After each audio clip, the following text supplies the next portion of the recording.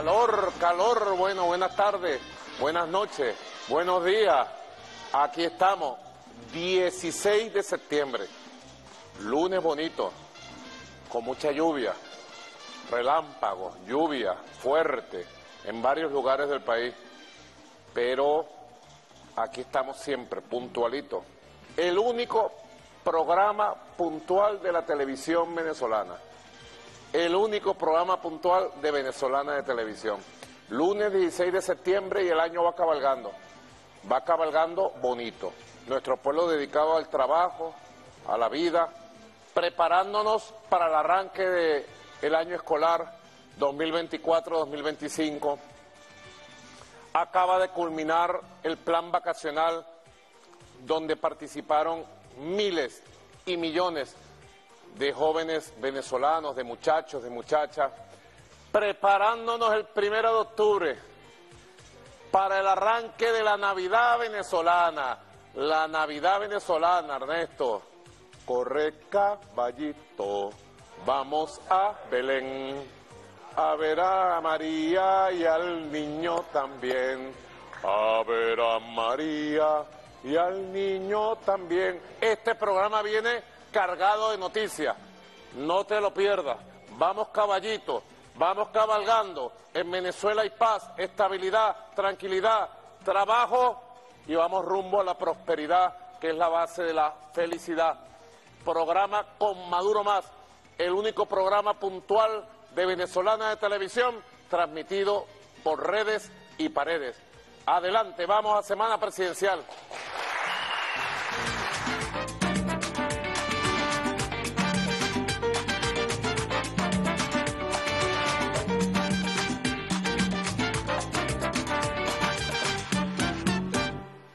Martes.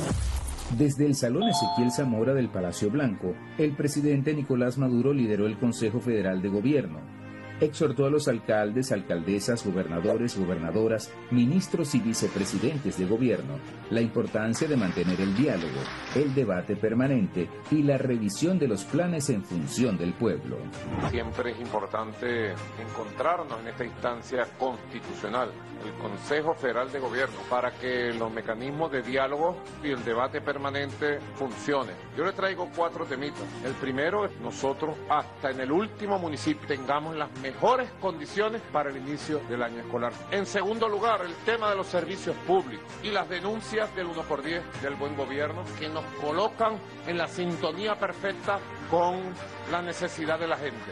En tercer lugar, yo les pido que le demos todo el apoyo a los proyectos votados y aprobados por las comunidades en la consulta número 2 que realizamos recientemente.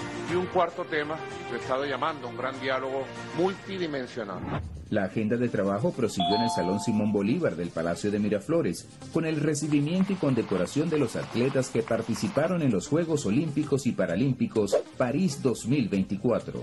Además, ratificó el apoyo integral del Estado venezolano para seguir desarrollándose rumbo a las próximas competencias a todo nivel.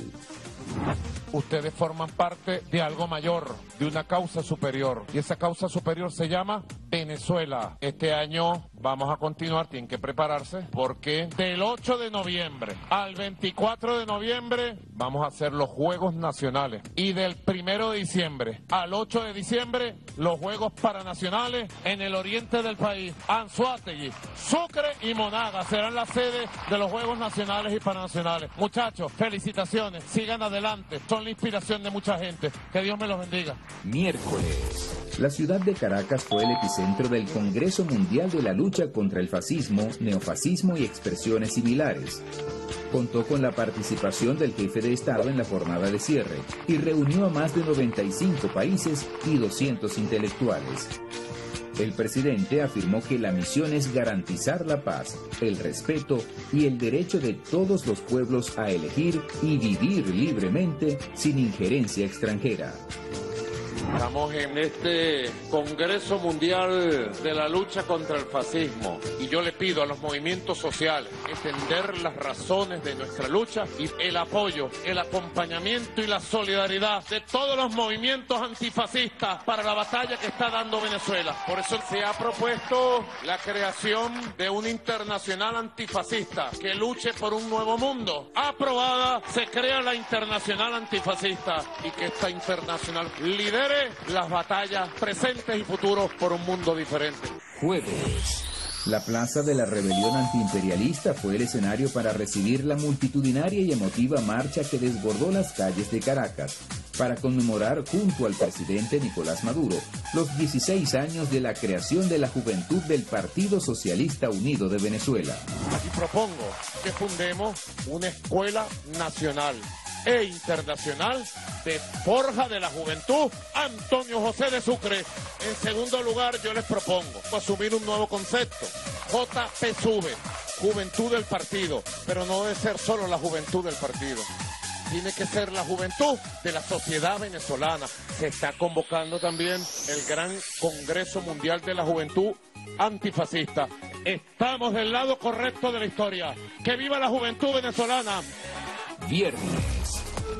Durante un recorrido por el Liceo José Ábalos, ubicado en la parroquia El Valle, donde se ejecutan labores de rehabilitación por parte de las Brigadas Comunitarias Militares de Educación y Salud, Bricomiles, el jefe de Estado, Nicolás Maduro, recordó los tiempos en los que cursó estudios de bachillerato.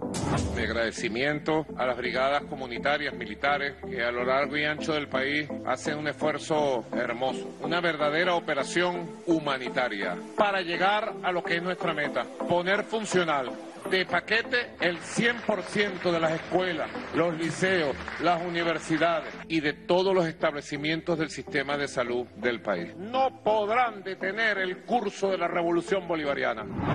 Por otra parte, condecoró con la Orden Libertadores y Libertadoras en su primera clase a oficiales agredidos con sanciones impuestas por el gobierno estadounidense. Y si teníamos razones para luchar por Venezuela, hoy se ha multiplicado por mil. ¡Que viva Venezuela! Más tarde, el mandatario nacional sostuvo un caluroso y afectuoso encuentro con trabajadores de obras públicas, donde destacó que la unión del poder popular con la Fuerza Armada Nacional Bolivariana es fundamental para garantizar la nueva cultura de mantenimiento, recuperación y cuidado. Maduro más.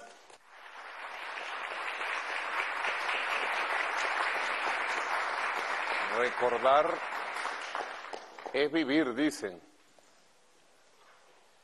Y recordar lo que uno es, es ratificar lo que debe ser. Esa visita que hice al Liceo José Ávalo estuvo lleno de una presencia, una presencia de lo que ha sido toda esta época de los años 70, 80, 90 y de estas dos décadas que van en el amanecer del siglo XXI. Nosotros los muchachos de esa época veíamos el siglo XXI de lejos. Y yo me acuerdo cuando fundaron un periódico llamado 2001, que todavía existe, del bloque de armas, y le pusieron 2001 también visualizando que el siglo XXI, y uno lo veía tan lejos. Y además, el presente de esa juventud era un presente de postración, un pueblo huérfano, absolutamente huérfano, un pueblo abandonado, apaleado, nosotros desde las aulas de ese liceo cultivamos una conciencia política, con P mayúscula. Cultivamos una generación de lucha articulada, bien organizada y además con grandes sueños. Yo se los dije a los muchachos, a los estudiantes del liceo, y al director, el profesor Fregosa. Le dije, Yo tenía 40 años que no iba para el liceo. Fui con motivo de que las brigadas comunitarias militares de educación están recuperando escuelas, liceos en todos lados. Trabajo único de unión cívico-militar, de unión del poder popular y el poder militar. Único porque si dependiera de puntos de cuenta y de recursos necesitaríamos cientos de millones de dólares para recuperar las miles de escuelas, liceos que hemos recuperado. Lo hemos recuperado por la unión de las capacidades, la voluntad y multiplicando, no sé por cuánto, por cien, los recursos materiales y monetarios que tenemos. Aprendimos a hacer muchísimo con nada y aprendimos a hacer muchísimo con poco. Y las brigadas comunitarias militares tienen esa impronta práctica, demostrativa, con resultados prácticos de la recuperación de todas las instalaciones que habían caído en un proceso de postración, bueno, producto del bloqueo, las sanciones, que nos quitaron el 99% de los ingresos del país. Hay que verle la cara, que a un país le quiten de un día para otro el 99% de sus ingresos. Y resistimos, y resistimos de pie, con dignidad, en ofensiva. No resistimos a la defensiva, echando para atrás, cediendo, no, resistimos haciendo más revolución. Y en el caso del Frente Educativo, con las bricomiles, las brigadas comunitarias y militares, se han hecho milagros, hermosos. Uno de esos milagros, el Liceo José Ávalo del Valle. Y yo le decía al profesor Fregosa, a los muchachos, a los obreros, a los militares presentes, invadido como estaba de recuerdos y emociones, a un nivel difícil de, de expresar y que me llegó hasta el día de hoy, Silvia lo sabe, porque he fastidiado a Silita, Silita vino bien bonita, mira, le luce ese rojo, ¿verdad? ¿Ah? Elegante, así conocí yo a Silita, mucho después, mucho después, en los años 90, ¿ves? ¿Dónde estabas tú, Silita, en esa época? ¿Ah? Buscándome.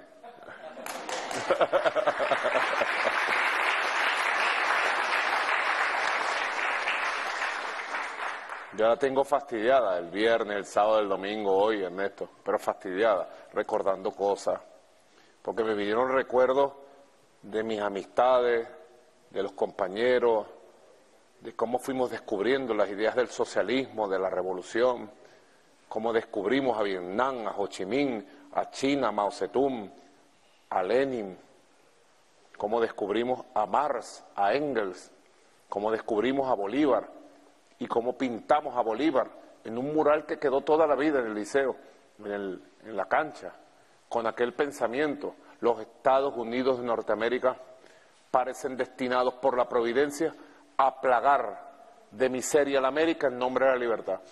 Yo lo recuerdo perfectamente porque teníamos unos 20 pensamientos del libertador que nos había dado el profesor de historia, Carlos Porra. Y debatimos, porque todo se debatía. Como hoy todavía, todo se debatía. Y dijimos, este es el pensamiento. ¿Por qué? Unos muchachos de 14, 15 años marcábamos ese pensamiento, así que muchos recuerdos, y le dije que desde esa época nuestra escuela fue la lucha de calle estudiantil, nuestra escuela fue los barrios, porque nos fuimos de los barrios, nos fuimos allí, a Cerro Grande, a La Matanza, Tamarindo, Zamora, todos esos barrios los recuerdo plenamente. Nos fuimos a hacer teatro, nos fuimos con el cineclub, nos fuimos a crear conciencia, nos fuimos a practicar deporte con los muchachos más jovencitos. La escuela fue la lucha estudiantil, la lucha de barrio. Y yo le decía a ellos, muchachos, hay que darle gracias a la vida, porque la vida le ha permitido a uno la fortuna, la bendición de volver a su liceo, al salón de usos múltiples, donde tantos sueños surgieron, donde tantas luchas se dieron, y decirle a esos muchachos ahora del siglo XXI, ha valido la pena luchar.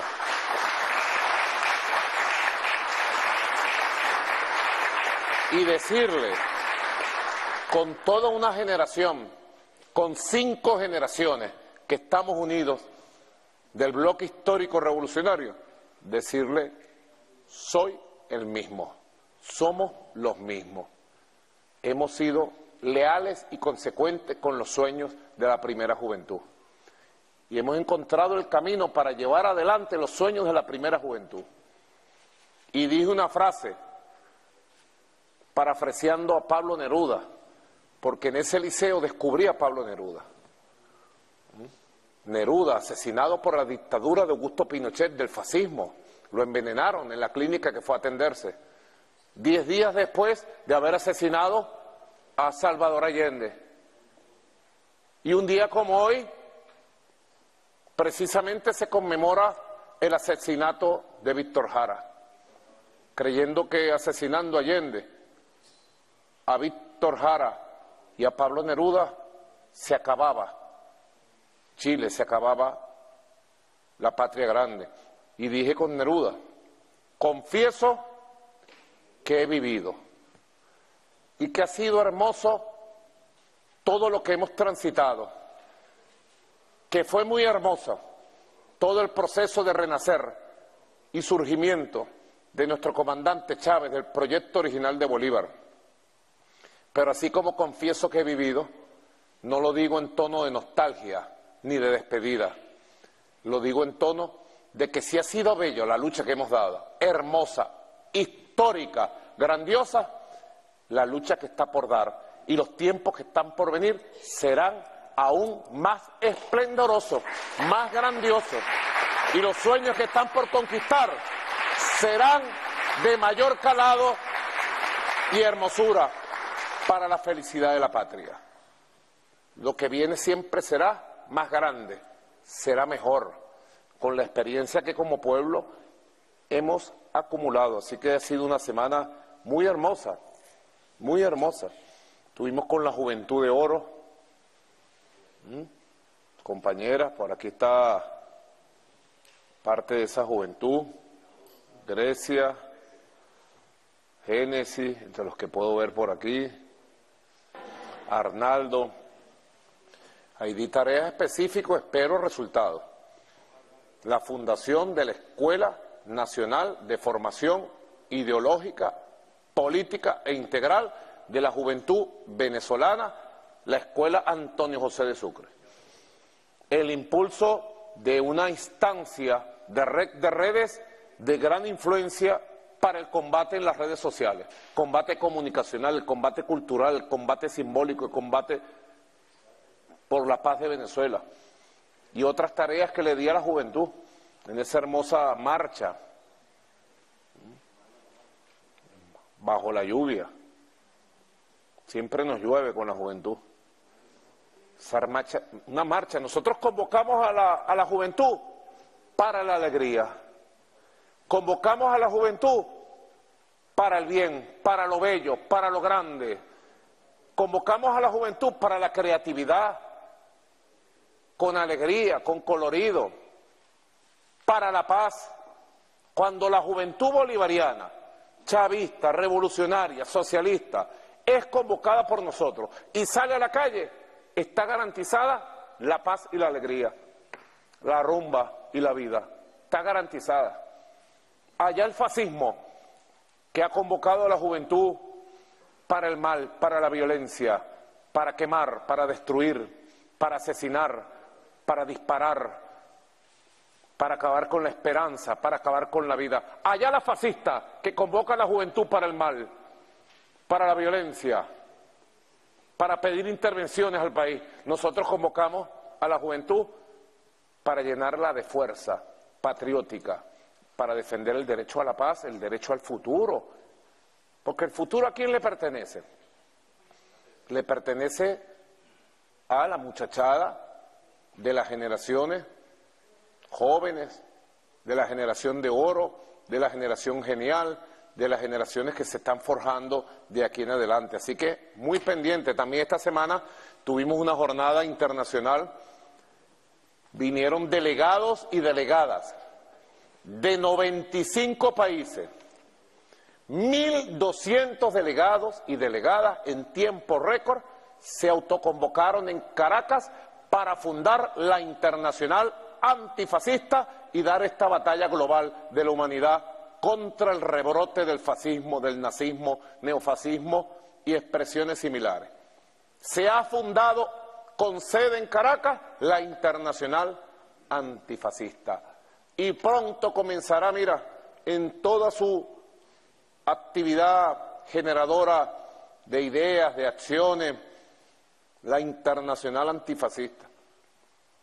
Recibimos, bueno, apoyo, ponencias, ideas, propuestas verdaderamente impactantes.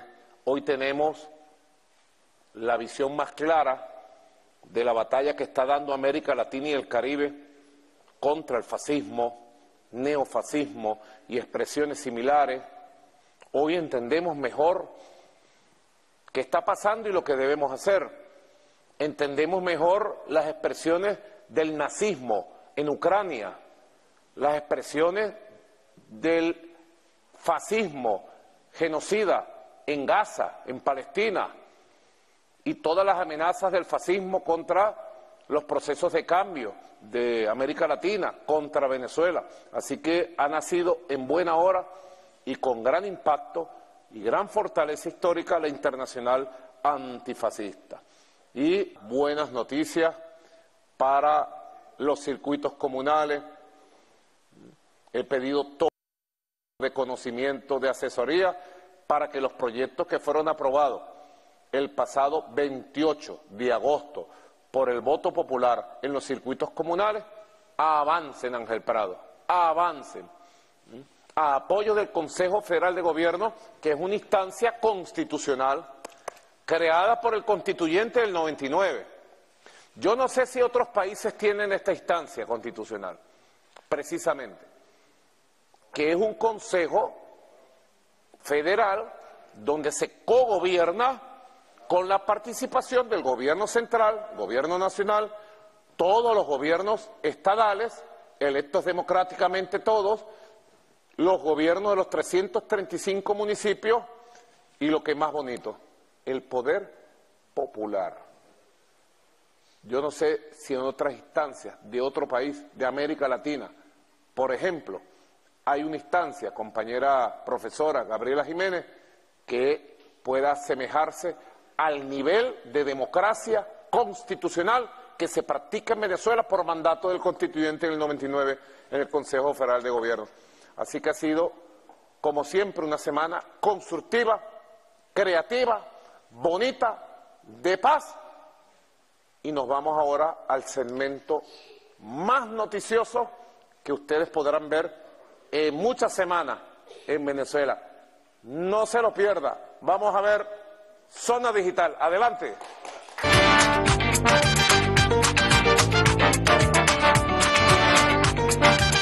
Maduro más. Hola, ¿cómo está, presidente? Bueno, bienvenido. Saludos a todos en sus casas quienes nos escuchan en cualquier parte del mundo. Bienvenido, Eligio. Hola, ¿cómo estás? Está muy elegante. Presidente, por invitarnos. Buenas noches. Bueno, presidente, vamos a hacer un repaso de las noticias nacionales e internacionales para entrar rápidamente en calor con este segmento el más noticioso, como dice usted. Bueno, lo primero que tenemos que decir es cómo el ministro de la Defensa recientemente se pronunció con el alto mando militar y dijo no somos chantajeables ni nos dejamos intimidar por la lacra imperialista. Esto lo dijo el ministro de la Defensa ante nuevas sanciones de Estados Unidos, cuando recientemente sancionaron a 16 funcionarios, entre ellos eh, cuatro altos oficiales de la Fuerza Armada Nacional Bolivariana, no cualquier eh, alto oficial de la Fuerza Armada. ¿Qué nos dice sobre esto? Bueno, porque está en, en desarrollo una estrategia llamada por los gringos y conocida por nosotros de máxima presión. Todos la conocemos, ustedes recuerdan las expresiones. Están sobre la mesa todas las opciones, decían. Y después un imbécil llamado Guaidó que se fue a Miami a decir, están todas las opciones sobre la mesa y debajo de la mesa. ¿Mm? Ya nosotros hemos visto esta película de máxima presión. Y la máxima presión tiene un gran componente de carácter psicológico. Pretenden, por la vía del chantaje psicológico, llenar de zozobra a un país, a las instituciones, a los líderes de todos los poderes públicos, no solamente a la población, también a los líderes de los poderes públicos. Entonces Estados Unidos estaba desde el 31 de julio, luego que el fascismo fue derrotado, en las urnas electorales y en las calles estaban, va a haber sanciones, va a haber sanciones, va a haber sanciones. Pedidas esas sanciones con lista pública por la María Machado, jefa del fascismo venezolano. La jefa del fascismo pidió nuevas sanciones contra Venezuela, contra el país. Y en específico es la responsable de todas las amenazas y de toda la campaña psicológica que hay, sin lugar a duda. Ahora, la reacción que tuvo inmediata, las llamadas, mal llamadas sanciones, fue contundente, fue gigantesca. La reacción del Poder Judicial venezolano en una sola voz, desde su máxima instancia de dirección del Tribunal Supremo de Justicia. La reacción del Poder Electoral venezolano, la reacción de la Fuerza Armada Nacional Bolivariana como poder militar soberano de Venezuela. Y la reacción de la Cancillería venezolana fue realmente una reacción que dejó muy mal parado a este intento despreciable del gobierno actual de los Estados Unidos por tratar de dañar a Venezuela.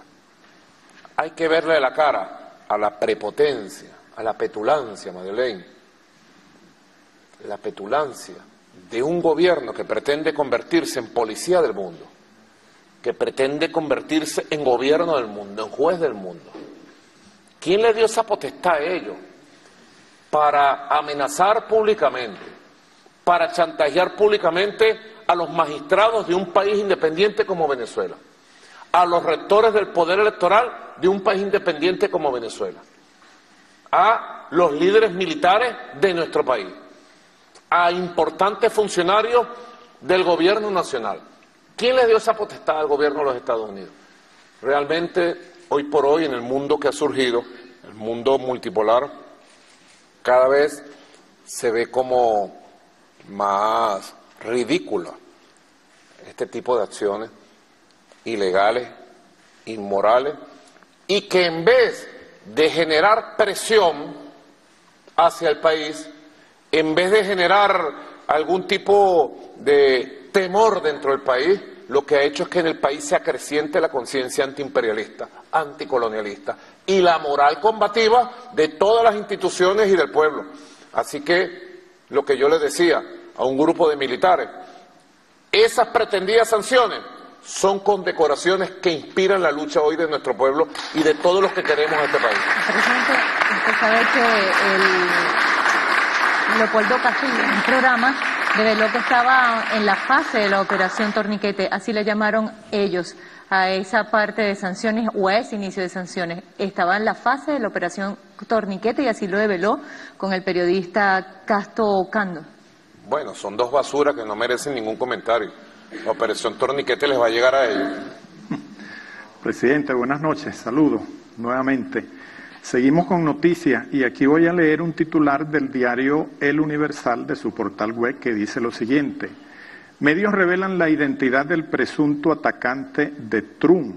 Se refieren a una persona de 58 años de edad sospechoso del posible intento de asesinato contra el expresidente Donald Trump. Bueno, yo he estado siguiendo estas noticias desde ayer en la tarde, cuando se supo de un segundo intento. Lamentable, muy lamentable, esta noticia. Y que dicen que el estado de salud de la sociedad estadounidense, del Estado, del gobierno, de los servicios de inteligencia y de la democracia estadounidense está muy mal. La salud del sistema político estadounidense está muy, muy mal. En general, la situación de la sociedad estadounidense es muy mala. Si uno buscara otros indicadores, pudiéramos pasar horas aquí conversando sobre indicadores de decadencia moral, espiritual, cultural, de la principal potencia del siglo XX que ha llegado a este siglo XXI como una potencia en decadencia, pero una gran potencia. Nadie lo puede dudar. El estado de salud de la sociedad y del sistema político está muy grave. Y si sencillamente el pueblo de Estados Unidos no se hace cargo de la situación, pudieran venir circunstancias muy graves para la sociedad estadounidense. Yo no quiero ser ni pitonizo ni profeta, pero se ve a simple vista todo lo que se ha revelado de la identidad de el que ha intentado atacar y asesinar al expresidente Trump, un fanático, todo lo que ha dicho el FBI, lo que dijo Snowden ayer. Snowden dijo algo así, no sé si ustedes lo vieron. Snowden dijo que es imposible que los servicios de inteligencia de Estados Unidos no supieran este tipo de amenazas cuando este es un hombre del sistema. Este señor que pretendió asesinar al expresidente Donald Trump es un hombre del sistema. ¿Mm? ¿Qué habrá por detrás de esto? Ya del primer atentado es público y notorio las fallas que hubo de protección. Te los dice una persona, yo, te los digo yo, que sé bastante, bastante de intentos de magnicidio que han practicado contra mí y que estoy perseguido por el mismo gobierno de Estados Unidos y por los paramilitares colombianos todos los días de mi vida, de todos estos años. Y que puedo rápidamente captar, rápidamente captar con las primeras informaciones que detrás de esto hay algo muy peligroso que se pretende contra el expresidente y candidato presidencial Donald Trump. Él debe saber, él debe saber mucho más de lo que dice. Y bueno, esperemos que las investigaciones se desarrollen. Decía una persona amiga mía, pareciera que estamos en la hora loca del poder estadounidense. Y no solo quieren llevar a una guerra total OTAN-Rusia, no solo quieren incrementar el genocidio contra el pueblo palestino de Gaza, no solo quieren venir a derrocar a todos los gobiernos progresistas de América Latina y el Caribe, no solo eso, sino que en la política interna de Estados Unidos se dan eventos reprobables, bochornosos y muy preocupantes, como el intento, segundo intento de asesinato del expresidente y candidato Donald Trump. En lo personal, yo ratifico al expresidente Donald Trump, ratifico desde Venezuela el repudio absoluto a este intento de asesinato.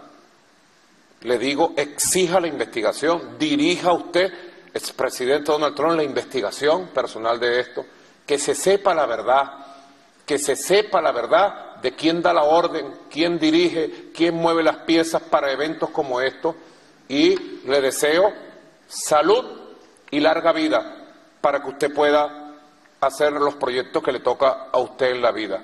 No es el atentado, no es el golpe de Estado, no es la acechanza, no es la violencia la que debe dominar la vida de nuestros países, debe ser el respeto a la vida y la paz por encima de todo. Presidente de Estados Unidos, ahora nos vamos a Rusia. Rusia ante la ONU. La OTAN desatará una guerra directa si permite a Kiev usar armas de largo alcance. La hora loca. ¿Ustedes saben qué es la hora loca? a la una dos de la mañana cuando hay una fiesta en Venezuela. Entonces ponen música, música, música, música, música. ¿Ah? ¿Cuál es la música que ponen? De todas las épocas. ¿Cómo? Vamos negro para la conga. Hacen el trencito y empieza la hora loca, pues. Todo se vale. Hoy en este mundo parece que todo se vale. Yo tengo un invitado, esa silla que ustedes ven ahí, Eligio, Madeleine, en esa silla se va a sentar un invitado especial, muy especial, que trae mucha información sobre este tema de la hora loca. Ahí la tengo apartada. Está por llegar el invitado, no ha llegado. Me dice que la lluvia hubo mucha cola para llegar, pero vine con pruebas contundentes de lo que yo llamo la hora loca. La hora loca. ¿Quién manda en Washington? ¿Quién toma las decisiones? ¿Quién dice qué es lo que hay que hacer? ¿Quién autoriza a que se arme la guerra contra Rusia y la OTAN? ¿Quién autoriza todas estas acciones? ¿Quién autoriza la guerra terrorista contra Venezuela? ¿Quién autoriza que se le dé el poder al fascismo en Venezuela? ¿Quién autoriza la conspiración contra Venezuela? Es la hora loca. Afortunadamente hay gente muy aplomada, muy serena, muy fuerte como el presidente Vladimir Putin, que tiene el control de la situación y no tengo ninguna duda que Rusia va a terminar de acabar con los brotes de nazismo en Ucrania y va a prevalecer más temprano que tarde la paz en Ucrania y en Rusia. Bueno, presidente, usted decía en la campaña electoral que en Estados Unidos había un vacío de poder. Recuerdo que lo, decía en una de las tarimas ¿verdad? durante su campaña electoral. Pero sigamos. ya este tema lo hemos venido tocando. Lo hemos venido tocando, exactamente. En el debate público con la gente. Sí, señor. Fíjese, vamos con otro titular que tiene el portal El Vistazo, relacionado con el presidente de Ecuador, Daniel Novoa. Y dice así. Daniel Novoa anuncia reforma para permitir bases militares extranjeras en Ecuador. Cambio en la geopolítica. Es que yo vengo diciendo, la punta de lanza en Sudamérica del nuevo colonialismo es el fascismo. Y las dos cabezas del fascismo en el continente es Novoa en Ecuador y Milei en Argentina. Milei ya le entregó un vasto territorio del Atlántico Sur al Comando Sur ya se lo entregó, están construyendo bases militares en Argentina, la Argentina de José de San Martín, la Argentina de Perón, la Argentina de Néstor, va a tener bases militares para ser controlada por el Comando Sur. ¿Cuándo acá? ¿Cuánto costó la independencia de nuestra tierra hace 200 años?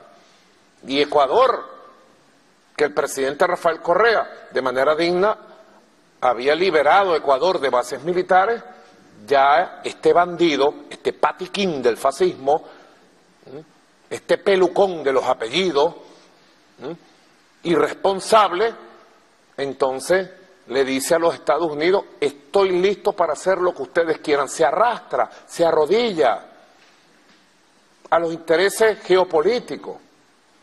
Es que el proyecto, Eligio, Madeleine, compatriotas que nos ven, el proyecto del imperialismo es lo que yo decía en el Congreso Mundial Antifascista en Caracas.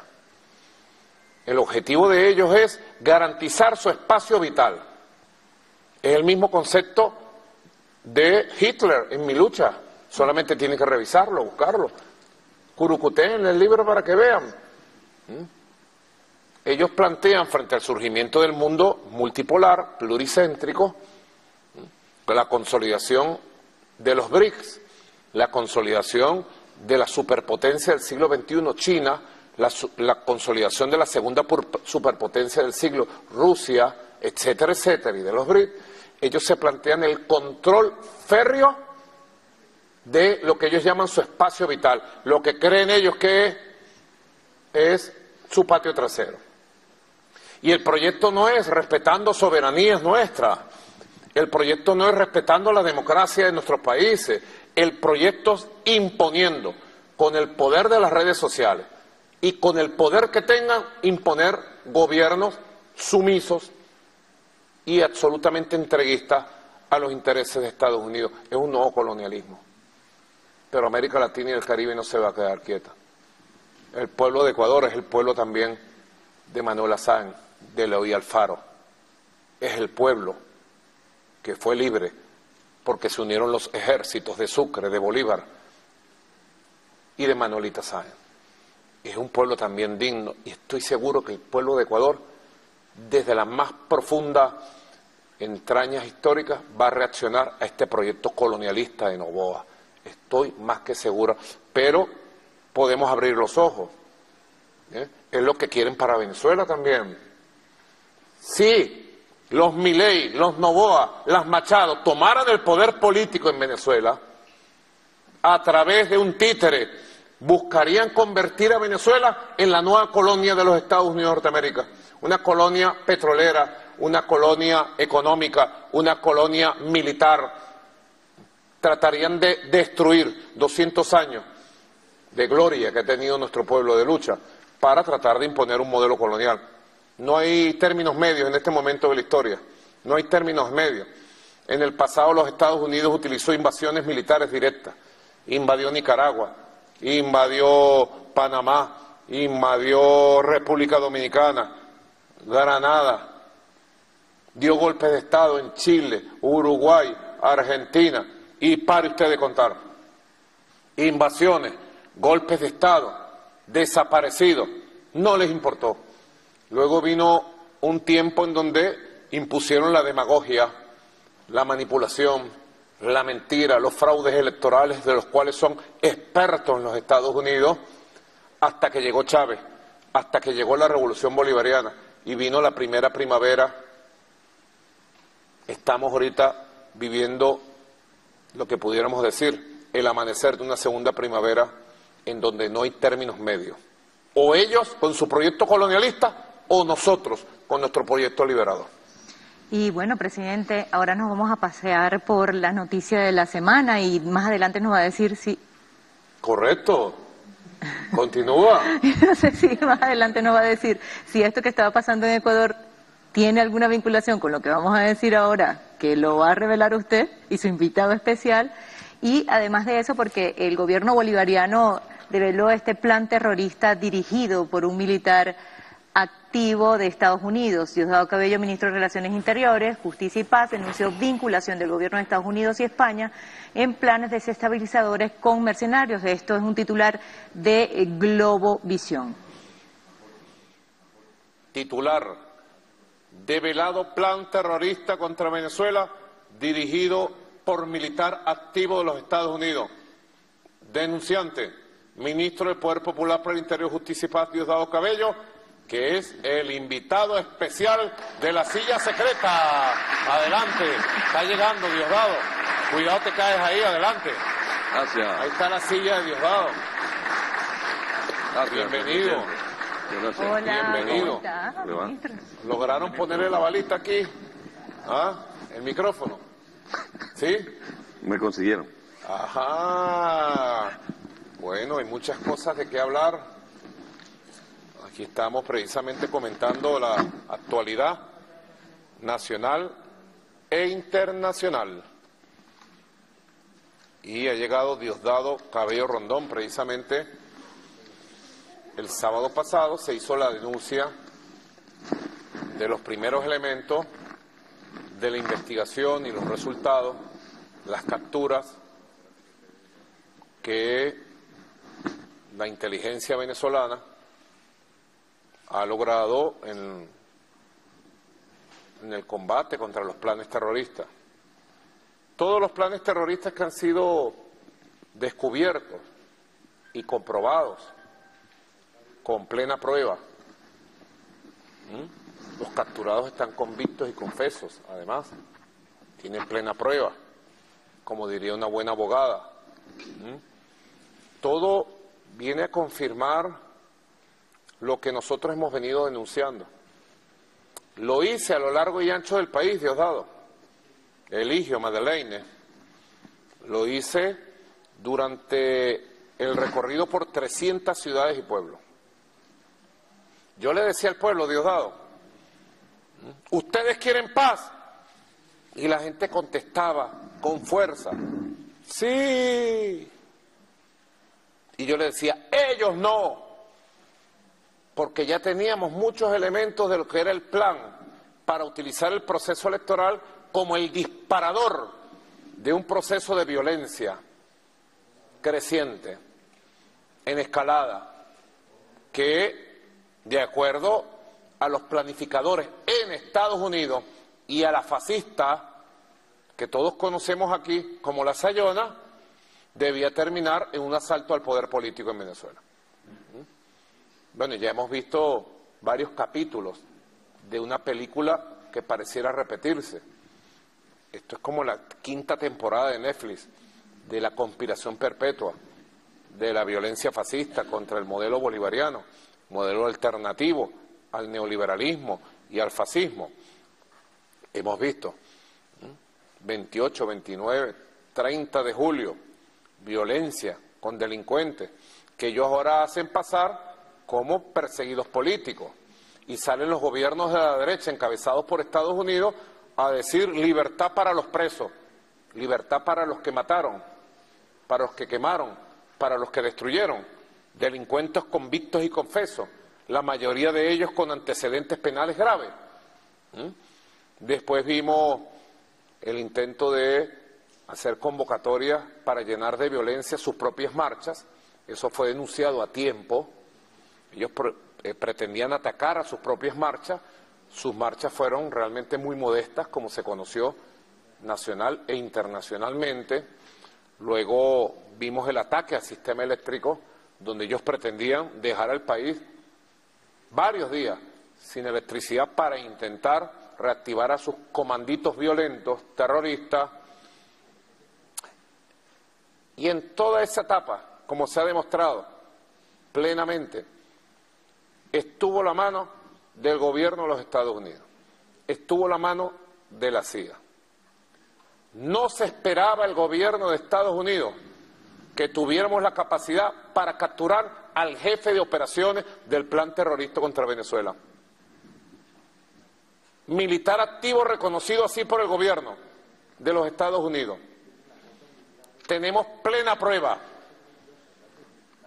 Lo que ha mostrado el ministro Diosdado Cabello no es ni el 10% de la plena prueba que ya está en manos de los órganos de justicia del Ministerio Público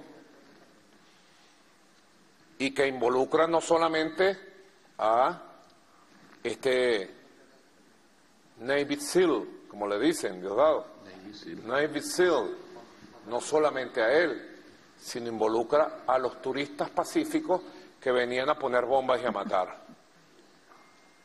de varias nacionalidades europeas, y que involucra directamente a una red de prepagos, de prepagos, todas vinculadas al tren del llano, que se mueven libremente entre Venezuela y Colombia y que eran eh, la base operativa, logística, se puede llamar así, ¿verdad, Dado? Y de captación. Y de captación para que el plan de los Estados Unidos Norteamérica articulado al tren de Aragua operara acciones terroristas graves contra instalaciones políticas públicas como el Palacio de Miraflores, la sede de la Vicepresidencia de la República, la sede del Poder Judicial, la Asamblea Nacional, contra instalaciones militares, cuarteles fuertes, emblemáticos de Venezuela, contra instalaciones policiales y contra importantes dirigentes civiles y militares de la revolución bolivariana. Así que es toda una trama que yo podría decir está en pleno proceso de develación. La historia continúa, así que bueno, podemos escuchar Diosdado y podemos hacerle todas las preguntas. A esta altura, eh, ministro Diosdado Cabello, ¿cuál es la hipótesis principal que maneja la investigación? ¿Quién dirige esto? ¿Desde dónde se dirige? ¿Quién financia? ¿Desde dónde llegaron las armas? ¿Y de qué se trata todo este movimiento, por qué se vincula a la CIA y por qué aparece por primera vez el llamado eh, español, el CNI. ¿Qué es el CNI? Diosdado Cabello Rondón. Bueno, buenas. Saludos a toda Venezuela, presidente. Magdalena y Ligio. Eh, bueno, esta semana, el día sábado, el día sábado nosotros acudimos a los medios de comunicación para informar de una investigación que se venía haciendo de los órganos de seguridad del Estado, del Estado venezolano. Y allí hemos abierto tres frentes principales, ¿no? El frente del terrorismo, acciones terroristas, el frente de los mercenarios, mercenarios, los actores principales, y el frente del armamento, con qué lo iban a hacer el armamento. Así llegamos nosotros a, la, a informarle a nuestro país, presidente, que más de 400 fusiles habían sido capturados. Correcto. 400 fusiles, uno lo, ellos lo pueden decir muy rápido, pueden ahora decir lo que les parezca, pero son 400 equipamientos, en teoría para 400 hombres, para accionarlos contra quién, contra nuestro pueblo. Contra nuestro pueblo. Luego, luego ¿quiénes estaban al frente? Nosotros comenzamos esta investigación con una denuncia que usted hizo, presidente, que iban a, hacer una, iban a, con un ataque de, con granadas algunos lugares. Correcto, que se descubrió. Se descubrió. Por fuentes de inteligencia populares, nacionales e internacionales inclusive. Si nos llegó la información, comenzamos a, a investigar, se capturan unas personas, estas personas tienen sus teléfonos, en los teléfonos comenzamos a encontrar eh, información que vincula a ese, ese ataque terrorista con granadas a instalaciones. De hecho, llegaron a lanzar algunas en la Casa de Justicia y Paz en Petare. En Petare, desde arriba, la parte de arriba de la autopista. Correcto. Eh, se, se... Muy celebrada en redes sociales de la derecha mayamera, ese tipo de ataque. Es correcto, correcto, porque Nada de esto, usted sabe que ellos tienen unas características que son muy bocones, ¿no? Quienes están militando en la desestabilización de Venezuela. Se detienen unas personas, estas personas comienzan a hablar de sus relaciones, de sus relaciones, de sus vínculos, comienzan a aparecer nombres y en esta investigación nos comienzan a aparecer personajes ligados al tren de Aragua. Al tren que ya teníamos varias informaciones de que el niño guerrero está en Venezuela, que el niño guerrero fue captado por la CIA, que todo el, operativo que se hizo mundial para declarar al niño guerrero terrorista formaba parte de una fachada para taparle realmente, chantajearlo, obligarlo a sumarse al gobierno de Estados Unidos en la agresión contra Venezuela y que el niño guerrero dirigió personalmente parte de los desmanes y la violencia criminal del 29, 30 y 31 de julio. Venezuela debe saberlo, y que está articulado él y su tren de Aragua, o el grupo que le responde a él, está articulado directamente con el plan, como hoy lo tenemos más que demostrado con las pruebas obtenidas con el militar activo de Estados Unidos, que serán depositadas en su momento por la Fiscalía en los tribunales que van a llevar este caso. Correcto. Y, y allí eh, nos llega la información por varias vías de, estaban entrando a Venezuela mercenarios. Correcto. Nos llega la información, comenzamos el seguimiento a una persona que se dedica al comercio sexual, una mujer que fue pareja, fue pareja del segundo del tren de Aragua. Una mujer de alto nivel que practica la prostitución y que era la pareja sentimental del segundo del tren de Aragua, que tengo entendido que lo asesinan. Lo asesinan. Correcto. Él es asesinado y este, este militar norteamericano, Wilber Joseph Castañeda, entabla contacto con ella. Entabla contacto, hace un primer viaje a Venezuela, se encuentran primero en Colombia. En Colombia se encuentran.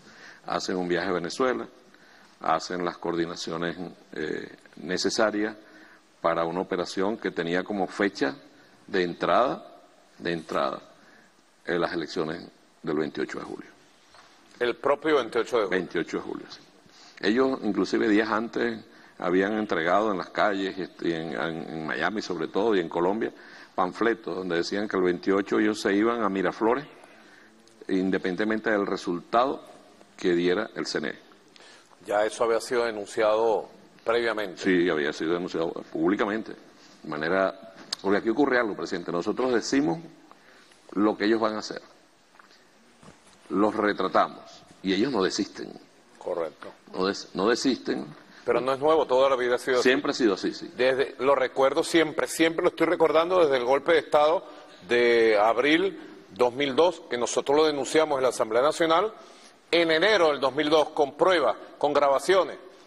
Así es. Y, y Jorge Rodríguez, presidente. Jorge Rodríguez hizo una exposición sobre el tema de, de Gedeón, con, casi que con nombre y apellido, lugares, coordenadas, y ellos siguieron. Lo primero que dijeron, no, eso es mentira. Tanto el gobierno de Colombia de la época, el gobierno de los Estados Unidos de la época, y dijeron que era mentira. Y siguieron adelante. Nosotros hacemos esto porque pensamos que de alguna manera puede ser disuasivo para evitar derramamiento de sangre. Se hizo la, la denuncia en su momento y ellos siguieron adelante. Eh, 28 y el, el fin es terminar con el gobierno del presidente Nicolás Maduro. El fin. hay algunas reacciones, presidente, Correcto. ministro, porque en la exposición que usted hizo el sábado invo- se involucran tres países, Estados Unidos, eh, España y en cierto modo Ecuador, ¿no? Que usted decía que migraron, de Colombia a Ecuador. Aquí voy a leer una primera reacción este, colocada en el portal La Secta, dice La Secta, dice así, Exteriores desmiente que España esté implicada en una operación de desestabilización política en Venezuela. Ahora, me da pie para preguntarle, ¿ha habido alguna conversación, presidente, eh, con las autoridades españolas, españolas más allá de estas declaraciones públicas? ¿Lo han llamado usted para darle alguna explicación? Bueno, primero yo comentaba con Diosdado que la reacción inmediata en los medios dominantes, hegemónicos de la derecha española fue defensiva. Ellos de manera sorprendente, entre comillas, ya estaban preparados para sacar su relato, porque tienen un relato para conspirar y cuando caen tienen un relato para victimizar a los asesinos, a los terroristas, victimizar a los victimarios. Ahora resulta que eran unos buenos muchachos, turistas, que estaban paseando y que fueron capturados por la dictadura venezolana y fueron desaparecidos. Diosdado hace la denuncia a las 2 de la tarde del sábado, 8 de la noche de España. A las 10 de la noche de España ya tenían unos audios supuestamente de los progenitores de estos terroristas capturados, ya diciendo que eran unos buenos muchachos, que ellos estaban, era de vacaciones. Luego era la madrugada de España y sacaron otros audios de que habían de- eh, denunciado que en Venezuela habían desaparecido estos buenos muchachos. Y en un programa principal de una televisora llamada La Sexta, que yo la he denunciado años atrás por ser una televisora antibolivariana, antivenezolana, sacan entonces un relato, mira qué rápidos son, un relato de un colombiano llamado Mauricio Bernal, me acuerdo el nombre completo, Mauricio Bernal, que dice que él es el dueño, dicen, él es el hotelero de estos pobres muchachos. Diosdado denunció que todos estos terroristas, turistas terroristas, que en sus tiempos libres a poner bombas, pues. Sencillo. Ellos vienen de turistas. Turismo es un nuevo tipo de turismo, turismo de aventura, ¿no? Vienen a poner bombas y matar gente aquí. ¿Ah? Turismo de aventura se puede llamar. ¿Ah? Turismo explosivo. ¿Eh? Entonces ellos dicen, dice este colombiano, que él es el dueño del hotel, que él llevó a los muchachos, turistas, pobrecitos, a la frontera, que allí fueron capturados por la Fuerza Aérea, dice él, o sea que él lo vio, y que eran pobrecitos, y que cuando él escuchó a Diosdado, a él le dio risa que acusaran, yo creo que no te va a dar risa, Mauricio Bernal, ¿oíste? ¿Qué dices tú de esto, Diosdado? Ya ellos tenían el relato para tapar el crimen y para tapar a los criminales. Sí, presidente, fíjese que este señor sale, yo dije que, y lo hice ex profeso, que toda esta gente implicada había pasado por un hotel en Colombia. Yo nunca dije el nombre del hotel. O sea, que se cayeron con los kilos. Se cayeron con los kilos y más. Yo nunca dije el nombre del hotel. Yo dije que habían pasado por Colombia, estaba el registro, que el, el hotel se los había conseguido un ciudadano que llaman Jorman Varilla, acusado del asesinato de un joven en el estado Zulia, de la oposición venezolana. Y este señor de repente sale diciendo que eh, ellos estaban allá, en, pasaron por su hotel. Yo no, yo no he mencionado ningún hotel. Lo cual eh, no solo se cae con los quinos, sino que pareciera que él es parte de lo que está ocurriendo, sabe más de lo que está diciendo. ¿Cómo se entera él, presidente, que fue en, en el aeropuerto de Puerto Ayacucho? ¿Habían otras personas? Seguramente. Es probable que habían escaparon, otras personas. Claro. Que tenían que reportarle a él el, el- Había otros turistas. otros turistas. Correcto. Otros turistas. El tema del turismo, presidente. Yo, yo, yo- yo soy muy caribeño, pero las vacaciones en, en, en Europa creo que ya terminaron hace rato. Difícilmente alguien en Europa va de vacaciones en septiembre. Difícilmente. Eso es, eso podemos preguntarlo en cualquier lugar. Ellos toman julio, parte de agosto. Lo cierto es que la denuncia, nosotros recibimos hace tiempo la información de que había un sistema de hoteles, con un hotel principal en Bogotá, donde estaban llegando un conjunto de terroristas enviados de Estados Unidos y enviados de Europa. Ellos se desesperan y sacan la imagen del coordinador de la operación hotelera y la operación traslado de terroristas por la vía de la frontera para meterlos por la frontera colombiana-venezolana. Así que se develan, ¿por qué se develan? Porque cae de la desesperación. Sencillamente ellos ya tenían el relato y lo venían preparando, porque desde que fueron capturados y fueron presentados legalmente ante los tribunales venezolanos, nosotros nos hemos reservado la denuncia pública y ellos ya habían preparado una respuesta que hicieron ver de manera automática en los medios de la derecha de España. Ahora, lo que llama mucho la atención es cómo el CNI español entra en operaciones contra Venezuela. ¿Qué es el CNI español? Es el Centro Nacional de Inteligencia de España. Eso está escrito al Ministerio de Defensa, pero en verdad es un ente totalmente autónomo del gobierno español. Eso depende de la CIA. Realiza operaciones en el mundo entero cumpliendo las instrucciones que da la CIA. Eh, es una, una figura que aparece en el Ministerio de, de- de Defensa. También uno escuchó en estos días a la ministra de Defensa Robles eh, atacar a Venezuela en un acto que era el bautizo de un libro, que no tiene nada que ver, y, y decidió enfilar baterías contra Venezuela. Ya ella sabía lo que había. Ahora, presidente, esos, esos turistas, que ellos llaman turistas, tenían contacto también con una persona de, de los que llaman prepago, pues, en el estado De esa red de prepago De esa red de prepago. ¿Dónde queda el hotel? en Colombia. ¿Pero en qué parte? Deja quieto que él va a volver a caer. Deja quieto que él va a volver a caer. Reservamos la información. Él va, a volver a, él va a volver a caer, porque él no se mueve ahí nada más, sino que se mueve en otro lugar. O sea que hay otros hoteles. Lo dice el presidente, la red hotelera. Yo no lo dije. Ella, esa persona, uno de los planes con ellos, con ellos tenía que ver con el asesinato de una alcaldesa allá en el estado Bolívar, como forma de generar eh, violencia en la zona. Ellos tienen comunicación, tienen comunicación con un señor que ellos llaman cariñosamente Jan. Casualmente está detenido un checo llamado Jan, parte de, una, de un grupo de mercenarios llamado el Comando AZ, que funciona en Europa. Sabe el CNI, Centro Nacional de Inteligencia Española, que ellos han venido contactando gente de varias nacionalidades. Sabe el CNI que ha repartido tareas aquí en Venezuela. Sabe el CNI, por ejemplo, que le dio a unos mercenarios franceses la toma del aeropuerto de Maiquetía como tarea de ese grupo. Sabe el CNI que estos dos caballeros trabajan para ellos, entre otros. Ahora, cuando nosotros desarrollamos y tomamos algunas, algunas decisiones, pues, de chequear, de revisar, de extremar las medidas. Por ejemplo, hoy día nosotros podemos asegurar que todo el armamento que ha llegado, presidente, viene de los Estados Unidos. Correcto, hay un armamento muy característico.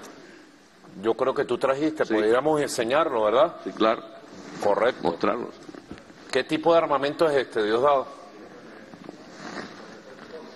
Este es un M4 a 1 este fusil es el fusil Para verlo. No tiene absolutamente carga.